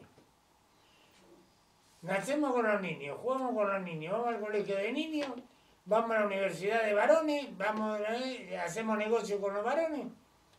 Toda nuestra vida está plagada de homosexualidad. Pero es muy difícil relacionarnos con las mujeres, muy difícil. Generalmente nadie puede. Así que el problema no es la homosexualidad. El problema es la heterosexualidad.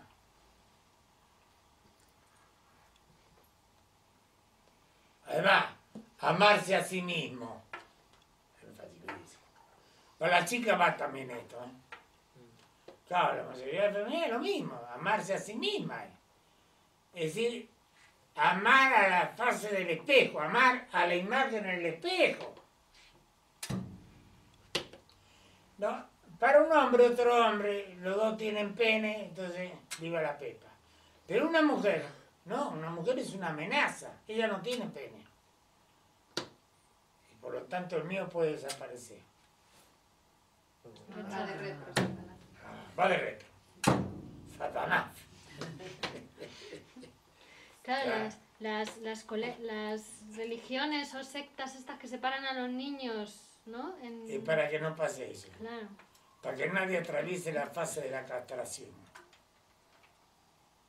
Que no se haga humano. ¿Qué? Para que no se hagan humanos. Para que no sean humanos. Sí. Está de moda eso.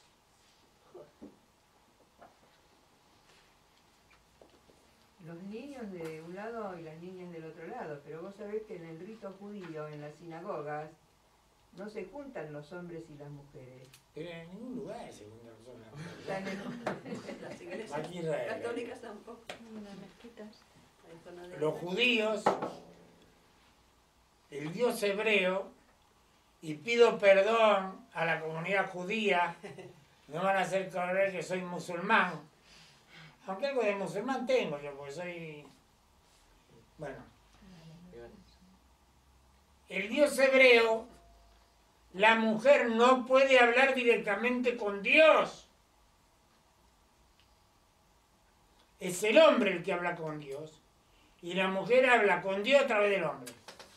En cambio vino Jesucristo, el hijo de puta ese, y dijo, no, no, no. las mujeres tienen que hablar con Dios.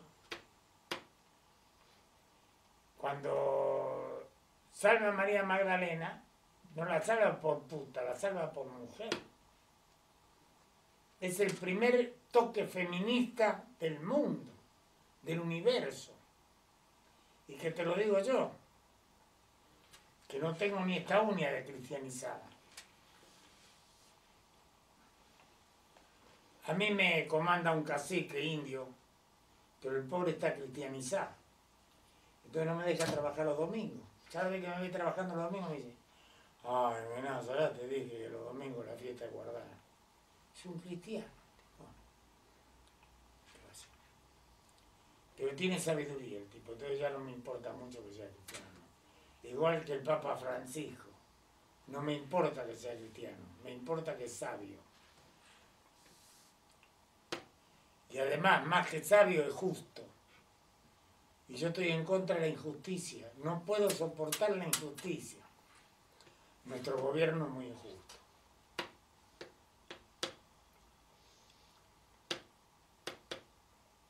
Pero me desviaron, ¿eh? Estaba en una investigación muy severa y ustedes me han llevado a la cotidianeidad. A ver, por favor, tráeme el tema. Sí, Eh, del- en el capítulo de trabajo sí. habla del verdadero viaje, que cuando acaba el psicoanálisis comienza el verdadero viaje. Claro, ahí me está hablando de que, de que uno se va a psicoanalizar porque tiene un problema. No, señorita. No. ¡Ey! Distraída. Ya, ya. Va. Lo que pasa que los síntomas se curan rápidamente en psicoanálisis. Bueno, por lo menos conmigo. Los síntomas se te van a los seis meses y no tenés más ningún síntoma. Entonces, el tipo dice que ahí es donde empieza a psicoanalizarse el sujeto. Cuando no tiene síntomas. Asocia libremente por fin, porque mientras tiene síntomas siempre te habla del síntoma. Me atoré, vomité, me dolió la cabeza, no puedo dormir, me mareé. Mi marido no me la pudo meter. Se la metió a mi amiga, uy, qué desastre. ¿no? Todo así, todos los síntomas. En cambio, cuando no tenés síntomas, sos una persona bastante sana, seguidamente ahí te empezás a analizar. Es decir, recién ahí empezás a asociar libremente. No siempre con lo mismo, no siempre con lo que te pasa. No siempre como ahora con la falta de dinero que ya me tienen los huevos por el suelo. Todo el mundo tiene el mismo síntoma, no puede ser. No puede ser, de algo se han copiado. No, dinero, el dinero, el dinero, el dinero, el dinero. Contagio histérico. Y el dinero, cuando ocupa toda la cabeza, te hace un animal. Cualquier cosa que te... Porque si el sexo te ocupara toda la cabeza, también serías un animal.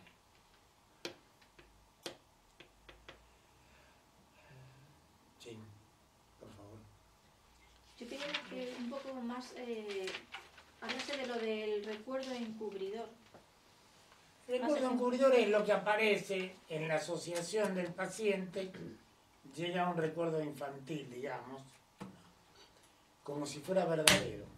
Chico del mechero llegó a la a que lo quema y el padre lo, lo reprime porque quemó la cortina. Es, es un recuerdo infantil y además de ser infantil es bastante interesante, porque el quilombo se lo hace a psicoanalista con el mechero. ¿sí? Sin embargo, ese era un recuerdo encubridor. Recuerdo encubridor es todo aquel recuerdo infantil al cual puedo llegar asociando libremente. Pero no puedo llegar al deseo inconsciente libremente. No puedo llegar a la verdad de por qué. Bueno, un buen análisis te muestra por qué elegiste ese recuerdo encubridor y no otro.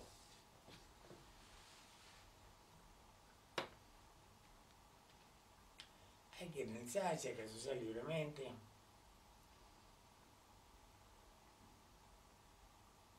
No hay que darle tanta importancia al psicoanalista.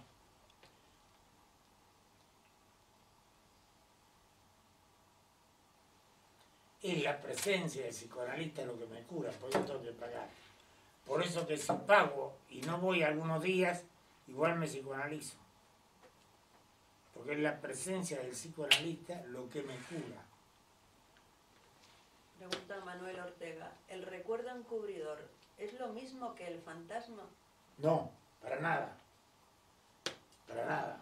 El fantasma es la frase que te impide ser libre. Es decir, el fantasma de la niña esa que yo cuento siempre, de la joven, el fantasma era, me van a violar.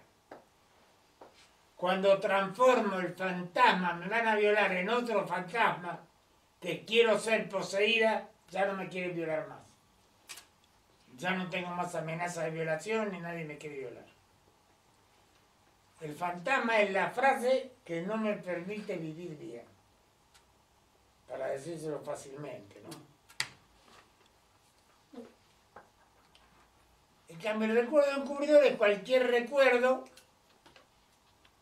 al cual yo le dé estatus de significante, al cual yo le dé estatus de que fue lo que provocó mi tos actual. Que fue una vez que mi madre me tenía en brazos y me puse a toser. Y encima no me acuerdo, sino que me lo contó mi madre.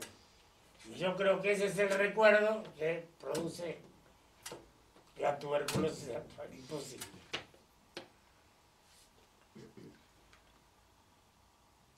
¿No quiere saber nada de su madre, seguramente? A ver, ¿qué pregunta? no, es sobre ruptura. ¿Cómo? Es sobre ruptura. A ver. Eh, digo, porque la ruptura se produce. ¿La? Ruptura. Sí. Es la distancia. No, mm, digo, porque eh, en- no en la clase de ruptura, más adelante, la manera de leer epistemológicamente, ¿no? En vez de posi- digo, eh, con- leer con otro tiempo es una ruptura en la manera de leer. Claro. Vale, no sé muy bien cómo era la pregunta. No, pero que, el que para pensar el concepto de ruptura tenés que pensar el tiempo futuro anterior, Claro. tenés que pensar la categoría de trabajo, tenés que pensar la sobredeterminación, no podés pensar el concepto de ruptura. Y a la vez, para pensar el concepto de sobredeterminación, tenés que pensar la categoría tiempo y la categoría ruptura. A mí me llamó la atención que dice el tiempo de la Está ruptura. todo más unido de lo que ustedes creen o de lo que yo les puedo transmitir. Que dice el tiempo de la ruptura. tiempo largo. Claro, por ejemplo, pensar que Freud es el padre del psicoanálisis es una equivocación. Freud es el primer hijo del psicoanálisis. Porque no es que a Freud se le ocurrió inventar el psicoanálisis. El psicoanálisis era una ciencia necesaria para el momento histórico de las ciencias.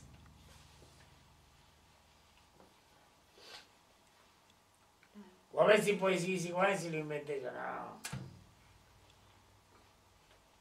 Lo anuncia Freud, lo anuncia Lacan, lo anuncian poetas como Octavio Paz, como es. Entonces, ¿Qué inventé? Es el momento histórico en donde se necesitaba que la poesía tuviera más que ver con el psicoanálisis y que el psicoanálisis tuviera más que ver con la poesía.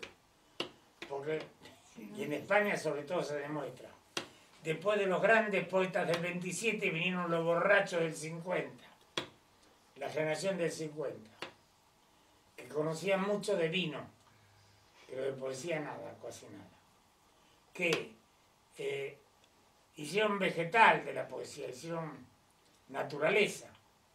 Cuando si ustedes leen la generación del 27, y estoy nombrando dentro de la generación del 27 a Vicente Alexandre también, ustedes se dan cuenta que la naturaleza es transformada en humana.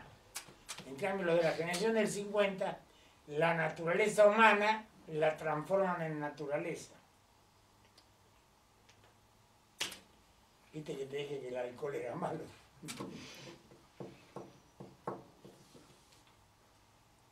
El único borracho, verdaderamente borracho, que yo conozco que haya escrito bien es Dylan Thomas. Pero ¿saben por qué? El tipo estaba borracho y empezaba el poema, se quedaba dormido. Se levantaba a la mañana siguiente, que ya no estaba borracho, y continuaba escribiendo el poema y vos no te das cuenta dónde estaba borracho y dónde estaba.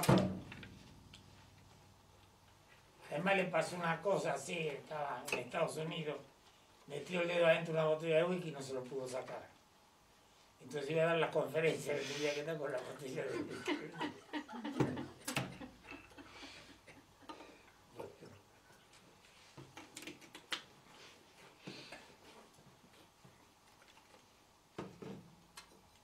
Fue una época, ¿no? También donde surge el psicoanálisis. 1920, la Belle Époque en, en Francia. Sí, la Belle Époque y Reich en Estados Unidos, el, inventor de la casa cómoda, de la casa, él decía de la casa psicoanalizada, de la casa psicoanalítica. Toda, toda una corriente arquitectónica que aparece en el 20, en el 20, en tal Reich, en Estados Unidos. ¿Sí?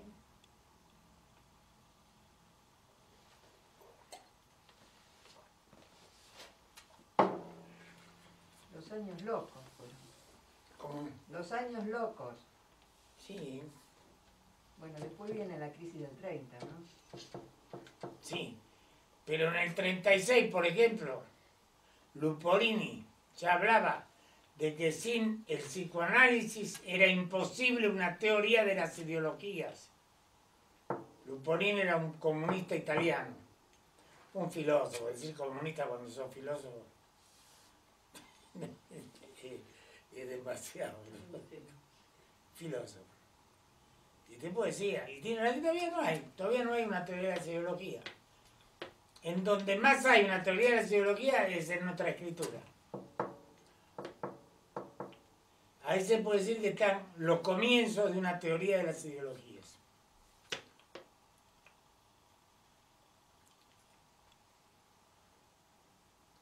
Vida cotidiana de la es una conferencia que yo di aquí, también di en, en-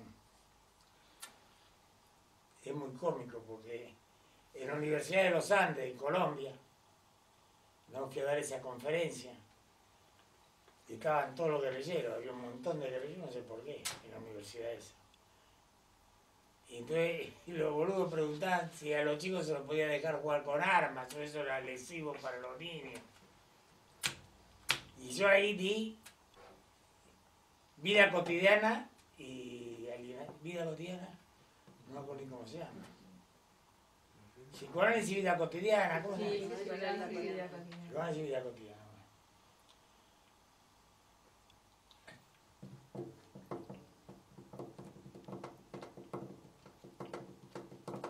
Bueno, a uno le dije, le dije, ¿por qué no lo deja jugar con la muñeca también? Porque yo jugaba con la muñeca y no salí maricón. Está bien, que aprendan a manejar el fusil por la duda, pero que aprendan a jugar con la muñeca también por la duda.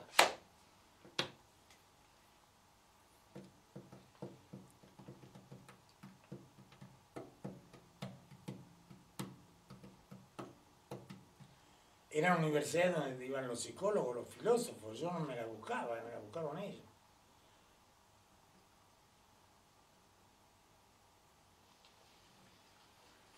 Esa trampa me hicieron, bueno, en Cuba ya les conté, también me hicieron la trampa de a los estudiantes más eh, eh, resistentes de Cuba, que era la Facultad de Psicología, me llevaron a hablar de psicoanálisis. Bueno, me gritaban, no me dejaban hablar. Entonces le dije, quiero decirle una frase y me voy. Yo enseño psicoanálisis en Madrid. ¿A usted le parece que puede ser un psicoanálisis a ustedes? Eh, me escucharon.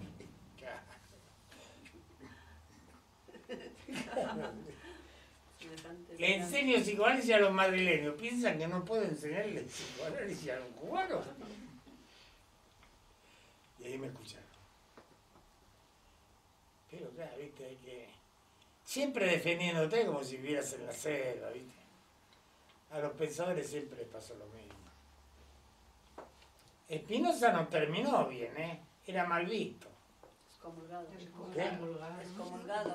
¿Viste? Como lo ves que, que no, no hay caso, siempre te hacen algo, siempre te hacen algo. Te persiguen o te engañan. Bueno, en Argentina murieron varios poetas, Miguel Ajebuto, Santoro. Bueno, para qué hablar.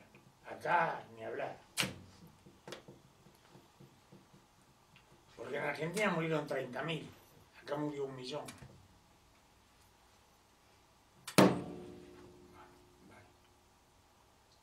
Y todavía hay franquistas. Así que fíjate lo que es la mente humana, querida. Que no dije nada, ¿eh? Además es bueno porque el cristianismo me enseñó a pedir perdón. Igual que Rajoy. Hace cagada tras cagada, pido perdón. eh, pero empezó el rey con eso. Hace lo mismo con tu mamá, boludo, decir, perdón, mamá. Chao. La tipa te perdona. Bueno, hasta a tu marido. Si le pedís perdón, el tipo siente que te humillaste. Perdón, querido, no lo voy a hacer nunca más. Fue un arrebato. Por eso me puse a estudiar Vos me contaste que hay una ruptura matrimonial porque una chica en su afán de aprender francés, que puede ser de aprender a psicoanalizarse también, perdía mucho tiempo en el hogar. Veía películas por acá, francesa, que sí, el marido le hizo, no quiero que vaya más a de francés. Porque perdía mucho tiempo, no porque le importara no le importara lo que iba a hacer la chica con el francés.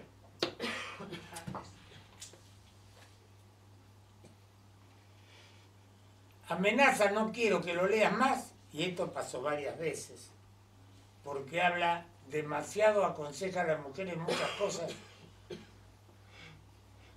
que después las mujeres se defienden con esa cosa que yo enseño de los maridos, de los amantes, de los hermanos.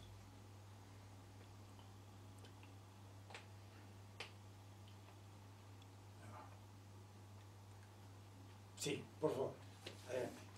Sobre la teoría del significante. ¿Cómo? La teoría del significante. un poco que explicas un poco de ello. A ver. ¿Qué es un significado? A ver, explica la teoría. La teoría del significante. Sí, o más o menos. Bueno, porque- es eh, la teoría, bueno, lo nombra así Lacan, ¿no? Como teoría del significante, porque eh, para Freud es... Es la teoría del significante. Bueno, vale, también. Pues que también. Claro, porque para, para Freud para más que nadie, porque la teoría del significante quiere decir que las palabras que en lingüística, por ejemplo, vos acá lees Freud, si tapás, debajo de Freud aparece la imagen de Freud iconográficamente reflejada. Decís árbol y aparece la imagen de un árbol, eso es la lingüística. Pero eh, la teoría del significante es que al lado, abajo de la palabra árbol, aparece la palabra flor. Y debajo de la palabra flor aparece Catalina de Medici, que era una vecina mía que yo le limpiaba el culo con cosas. Después aparece, pa- y aparece Coca-Cola. Por eso, que en los partidos de fútbol estoy tomando una Coca-Cola, y hacen un gol y me pongo a llorar. Porque la palabra Coca-Cola, debajo no tiene una botellita de Coca-Cola, tiene la palabra mamá. Coca-Cola, mamá, bisturí, aprendí. Pues ni hablar cuando quisieron operar a mi madre, le digo, bisturí, ni hablar. O sea, ¿qué es lo que significa para cada persona? palabra Exactamente, esa? una palabra para... Y además, el sentido lo da la concatenación significante. El sentido no lo da cada palabra por sí, sino la concatenación significante da sentido. Por eso que es aconsejable nunca dejar de hablar.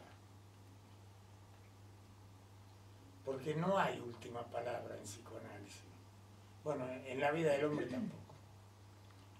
No hay última O sea, lo que significa o lo que representa, ¿no? Por ejemplo, la Coca-Cola que representa para usted. Sí, pero no es eso, sino que cada significante tiene debajo otro significante. Para cada uno. Para cada uno, sí. Inconscientemente, ¿no? Inconsciente. Son inconscientes y además están- es una relación entre significantes, no que cada significante tiene un significado. Eso es lingüística. Claro, porque la lingüística estudia el lenguaje y el psicoanálisis es el, el lenguaje habitado por un sujeto. No, te estoy el inconsciente. Es el inconsciente el que se maneja de esa manera. No es la teoría del significante y el inconsciente. Es el inconsciente el que te lleva a pensar la teoría del significante. Inconsciente está También hay que echar huevo por acá, ¿no? güey? ¿Y tiene que ver con lo que una palabra se puede combinar con cualquier palabra? o- Exactamente, exactamente. Pero peor que eso. Un significante se puede combinar con cualquier significante y para mí es inconsciente. Por eso cuando decimos que un sujeto, o sea, un significante representa a un sujeto para otro significante, o sea, el sujeto puede ser otro en relación a la cadena significante, ¿no? Que se produzca en el análisis o que se vaya... Puede llegar a ser otro si está con, si se concatena a otra cadena. Sí. Pero la única manera de modificar la cadena significante es hablando, Bueno, es en... equivocándose, interpretándose. No es tan difícil, ¿no? no es tan difícil. Es diferente. No es difícil, no, en serio, no es difícil, es diferente. Es que no lo conocemos, o sea, que es algo que... es inconsciente. Ahí, menos a la última vez, no crean que soy ignorante de, mi, de mis cosas, de que estas cosas a mí me ocurren inconscientemente, hablando de la sexualidad en la película. O no es Mena, es Bartolo en realidad. Dice, no, eh, yo no conozco esto, ustedes creen que es porque soy ignorante, no, es porque para mí estas cosas de la sexualidad son inconscientes.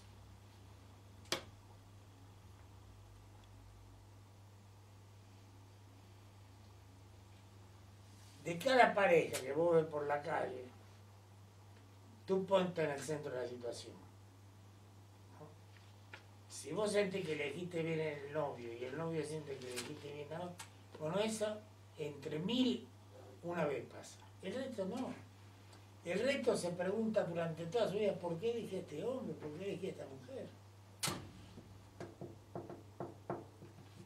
Y eso todavía no es un buen motivo para separarse. ¿no?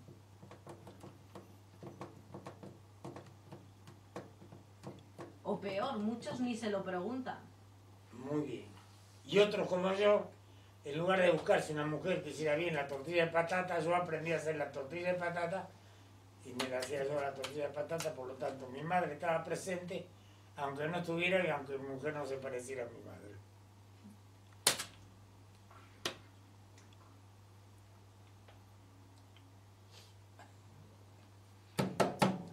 Señorita, me explicó bien, ¿eh? No. Tiene un menos cuatro. No sé cómo lo va a levantar. El ángel gitano. ¿A vos te parece que tiene algo de ángel y de gitano?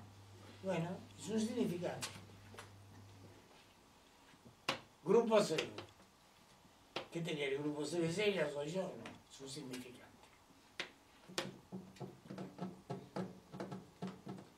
Entonces, grupo cero, podés decir menaza, pero tenés que decir Freud, Lacan, epistemología materialista, filosofía, Lacan, eh, Apolo Pancratos,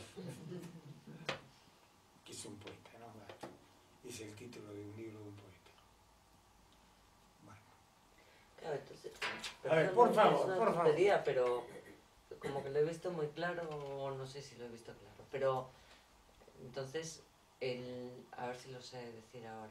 Claro, eh, la lingüística no sirve para nada en relación al psicoanálisis porque ninguna palabra tiene el significado que dice tener.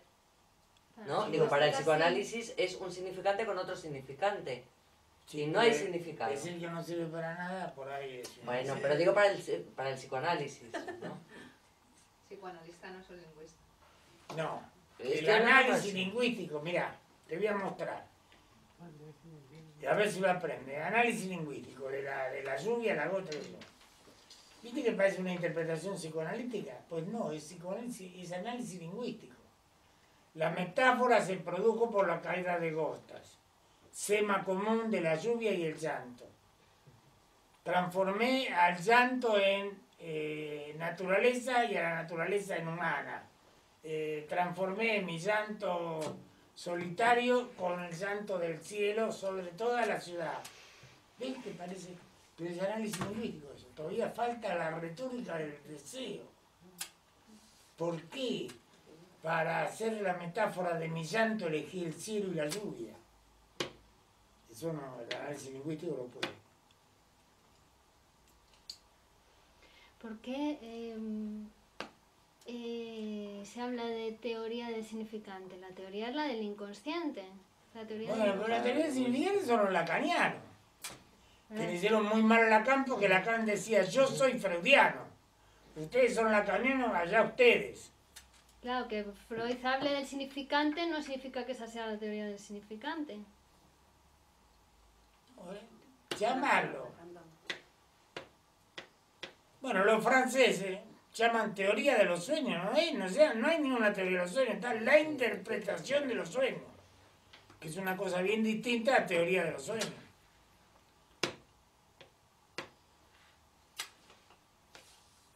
Los españoles hemos traducido eh, psicología, eh, proyecto de una psicología, lo hemos traducido proyecto de una psicología para neurólogos.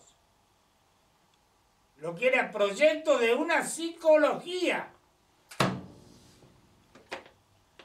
Ustedes que están haciendo trabajo sobre psicología, el proyecto leído de esta manera, como usted dice Freud, proyecto de psicología, sirven para cuestionar toda la psicología.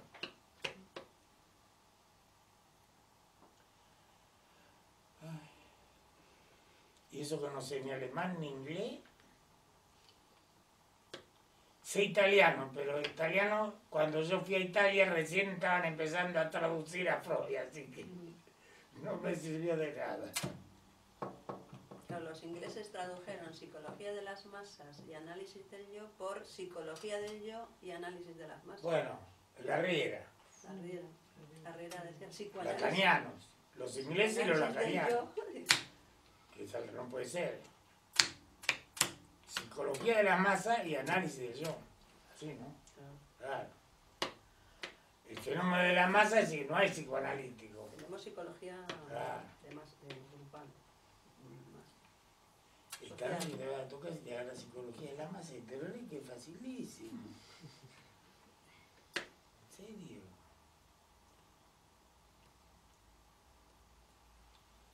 Lo más difícil, y se lo digo también a usted, a usted, a usted, a usted, a usted, a usted, lo más difícil no es leer. Leer es muy fácil. La gente, cuando lee, quiere entender, entonces deja de leer porque no entiende, pero eso... Pero leer es muy fácil, lo que pasa es que la comprensión viene después de muchas lecturas.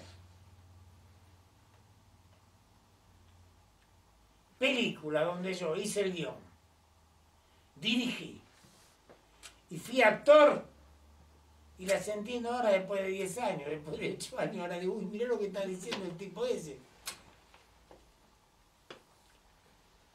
Los psicoanalistas dicen que no hay que entender, que hay que aceptar, ¿no? Sí. Entonces, eh, cuan- cuando ya aceptas, ya entiendes, luego ya puedes entender. Aceptar que hay algo que no puedes entender. Si aceptas la interpretación, no conscientemente, si aceptas la interpretación hay transformación. No necesitas entender.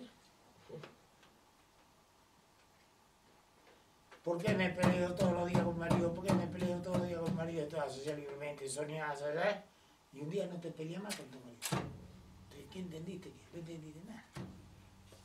Un día no te peleas más con tu marido, entonces tenés que ir a la psicoanalista con otra historia. Pero eso es lo que no se puede. Mientras me peleaba con mi marido, que boluda que fui, le decía psicoanalista, me perdí esta oportunidad, esta otra, esta otra. Sí. Que, que lo difícil de entender es que no es entendiendo. Sí. Es hablando, señores, hablando, hay que hablar. Para psicoanalizarse hay que aprender a hablar. Por eso que yo a veces digo que hay una burocracia en el psicoanálisis que nadie respeta. Bueno, después que yo insistí tanto en eso, ahora con los locos hacen eso. Hay un periodo que es administrativo. Y si hay un periodo que yo le tengo que enseñar a hablar al paciente. sin resquemores, sin miedo, porque yo no voy a responder como ningún familiar, ni como el marido, ni como el hermano, ni como la madre, es decir, no va a obtener represalias. No, el psicoanálisis es la cosa más barata del mundo. Lo único que te cuesta es el dinero que tenés que pagar por mes. Cuando en tu familia o en la fábrica llegas a decir todas las cosas que deciden en el psicoanálisis, te echan de tu familia, te echan de la fábrica, te excomulgan porque asqueroso. No, es muy barato, psicoanálisis es muy barato. Lo que pasa es que el psicoanalista también le cuesta su formación. Porque si no está muy formado y todavía bien psicoanalizado, se entromete, se mete con el paciente, le cree, como decíamos al principio, le cree en lugar de interpretarlo. Cuando no hemos transformado el pasado, ¿qué presente estamos viviendo? Cuando uno, Cuando uno no, tra- no ha transformado el, el pasado. el pasado se transforma del presente, Por, por eso, pero cuando, cuando, la vida de tus padres, cuando no se ha para transformado, decírtelo directamente. Generalmente el sujeto actual de las ciudades modernas vive la vida de sus padres, que es lo que hay que evitar. ¿Por qué? Porque la vida de tus padres fue una vida ya vivida. Quiere decir que vos no estás viviendo ninguna vida. No te, no, no te apropias, no te apropias de la garantía que te da ser un ser humano, que tener tu propia vida. No tenés en cuenta eso. Es casi un delito, porque no viví ninguna vida. No hay futuro ahí. Yo prefiero llevarme mal con alguno de mis hijos o alguno de mis discípulos a que me repitan. ¿Verdad? Porque hay cosas sociales que deben ser repetidas. Pero son cosas sociales, no pueden ser cosas de personalidad. Y que de alcanzar un cierto estado en cierta profesión tenés que estudiar.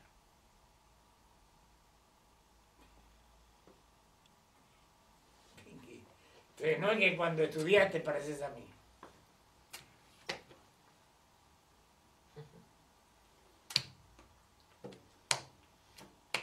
Cuando estudiaste pareces a todos los integrantes de la humanidad que quieren llegar a algún lugar en algún tipo de profesión o en algún tipo de conocimiento. ¿Eh? En ciertos sectores de la realidad se dice, mira, ese boludo no estudió nunca, por eso dice lo que dice. Además se nota, cuando no estudia se nota.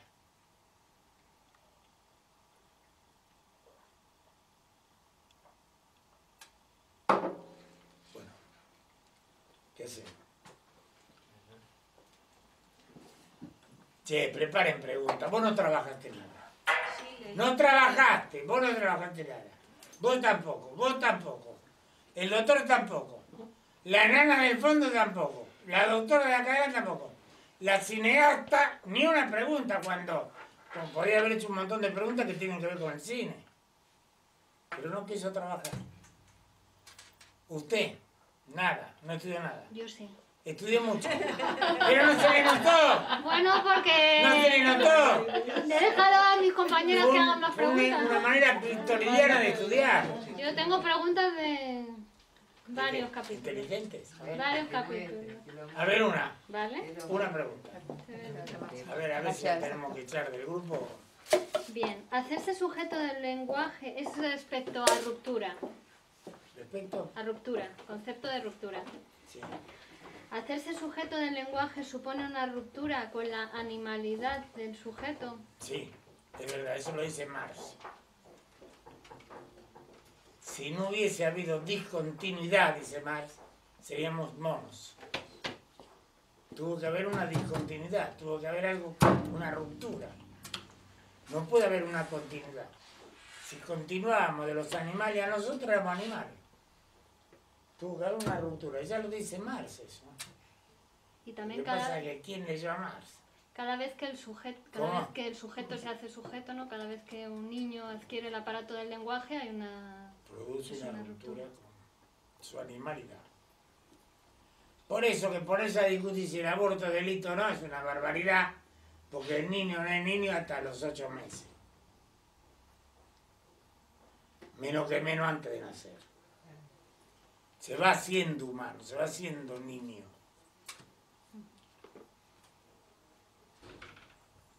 Se fue la mamá. El niño se va haciendo niño le pega a la madre el niño. La tiene cerca. Que cuando le cambia los pañales o cuando la tiene cerca o le tira el pelo o le da patada. El tipo ya se está dando cuenta que es la madre. Sí. No, que le decía Virginia que hemos terminado la clase, que no, sacaron las preguntas que no ha sacado antes, ¿no? Las preguntas que no ha hecho ahora, no ha hecho antes, las quiere hacer ahora. No, yo No. le pregunté. Le dije que me hiciera una pregunta inteligente. Era una. Inteligente, porque si no esta te mata. Ah, otra. Otra inteligente. Ah, ya hizo una. Bueno, una, hizo una. No era inteligente. Era ¿eh? inteligente, pues. no sé. Bueno, y de paso que Amelia Bueno, para bueno, que me- prepare otra pregunta. Yo me- no, las de Amelia son muy inteligentes. No, no. La enfermedad sería, por tanto, una manera de negar la humanidad.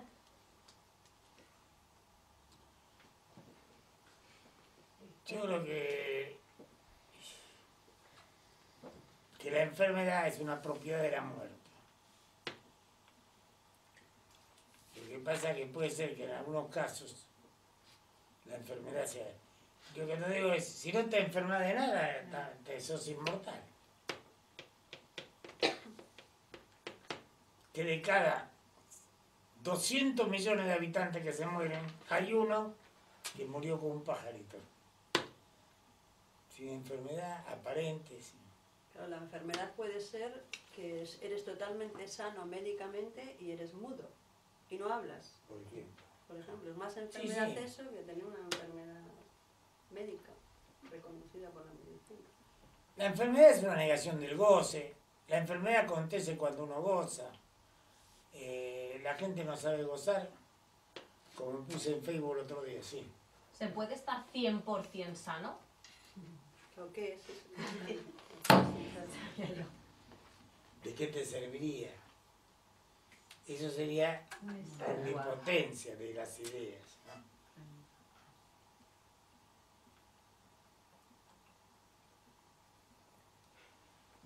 Yo no te dije que soy totalmente sano, pero mira, tengo acá una cosita. Mira, mira toca. No, que hay enfermedades mutilantes y hay enfermedades de joda que solo te hacen dar cuenta que algún día vendrá la muerte. Depende de lo que hagas con la enfermedad. Si te mueres o te sigues vivo. te- molestas están a diciendo, todos. Me están diciendo un verso acá. ¿Qué? Me están diciendo un verso. Me dicen, vendrá la muerte y tendrá tus ojos. Claro.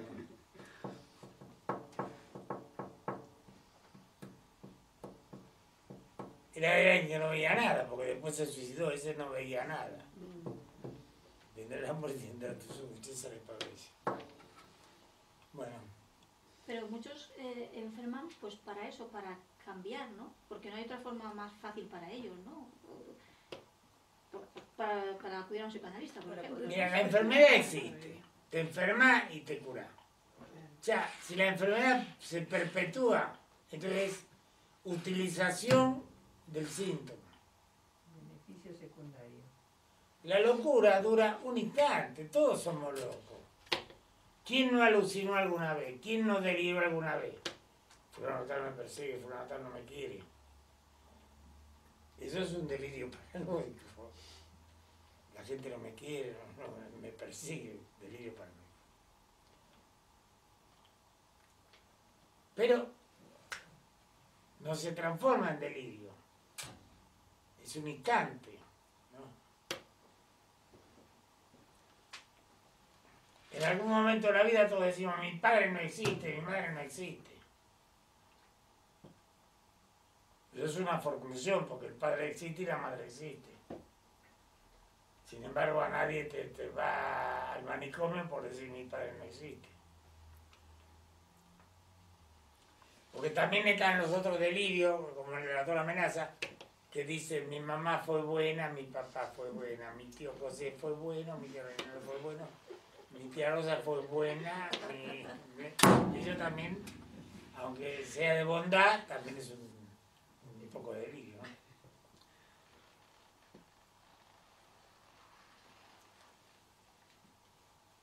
No hay quien como yo. Y este es un delirio muy, muy Habitual. eh, habitual en la población. Vas a la cocina y te das cuenta cuál es de, de todas las chicas, de todos los hombres que están cocinando, quién es la que se cree imprescindible. Vas a la playa y te das cuenta quién se cree el más bonito de la playa o la más despampanante de la playa.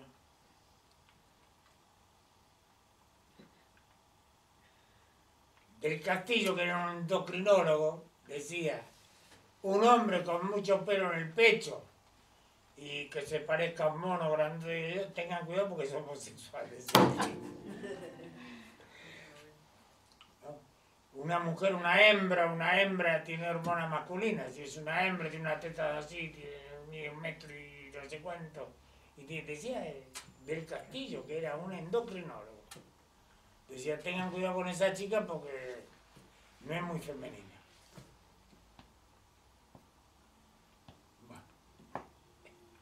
Lo que pasa es que eso es un trabajo que luego, claro, tienes que mantener, porque yo en la cocina no hago eso porque así cocinan otros. ¿Cómo, cómo? A ver, a ver, a ver. que cuando te crees que la cocina es eh, imprescindible, cuando te crees que... Luego es un trabajo que hay que mantenerlo, que es duro. O sea, entonces, Te hacen cocinar todos los yo en la cocina no hago eso y entonces... que cocinen otros. Es difícil eso.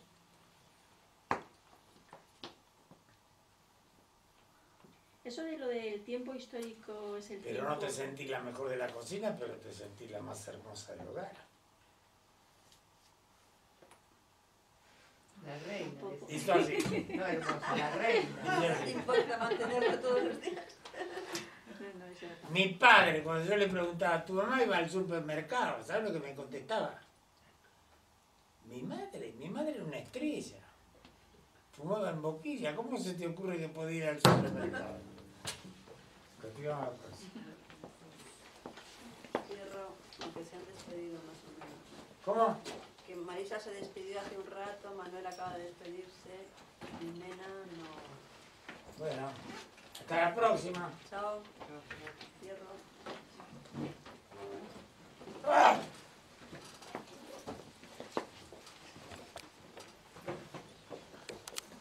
Muchas gracias. Volvemos el jueves que viene. Estudiemos, estudiemos y preparamos las preguntas. Preparen las preguntas por escrito. Van a ver qué fácil, que después resulta y todos los que no preguntaron tienen que preguntar. Y usted, ya que estudia tanto, de manera más inteligente. Que le digo.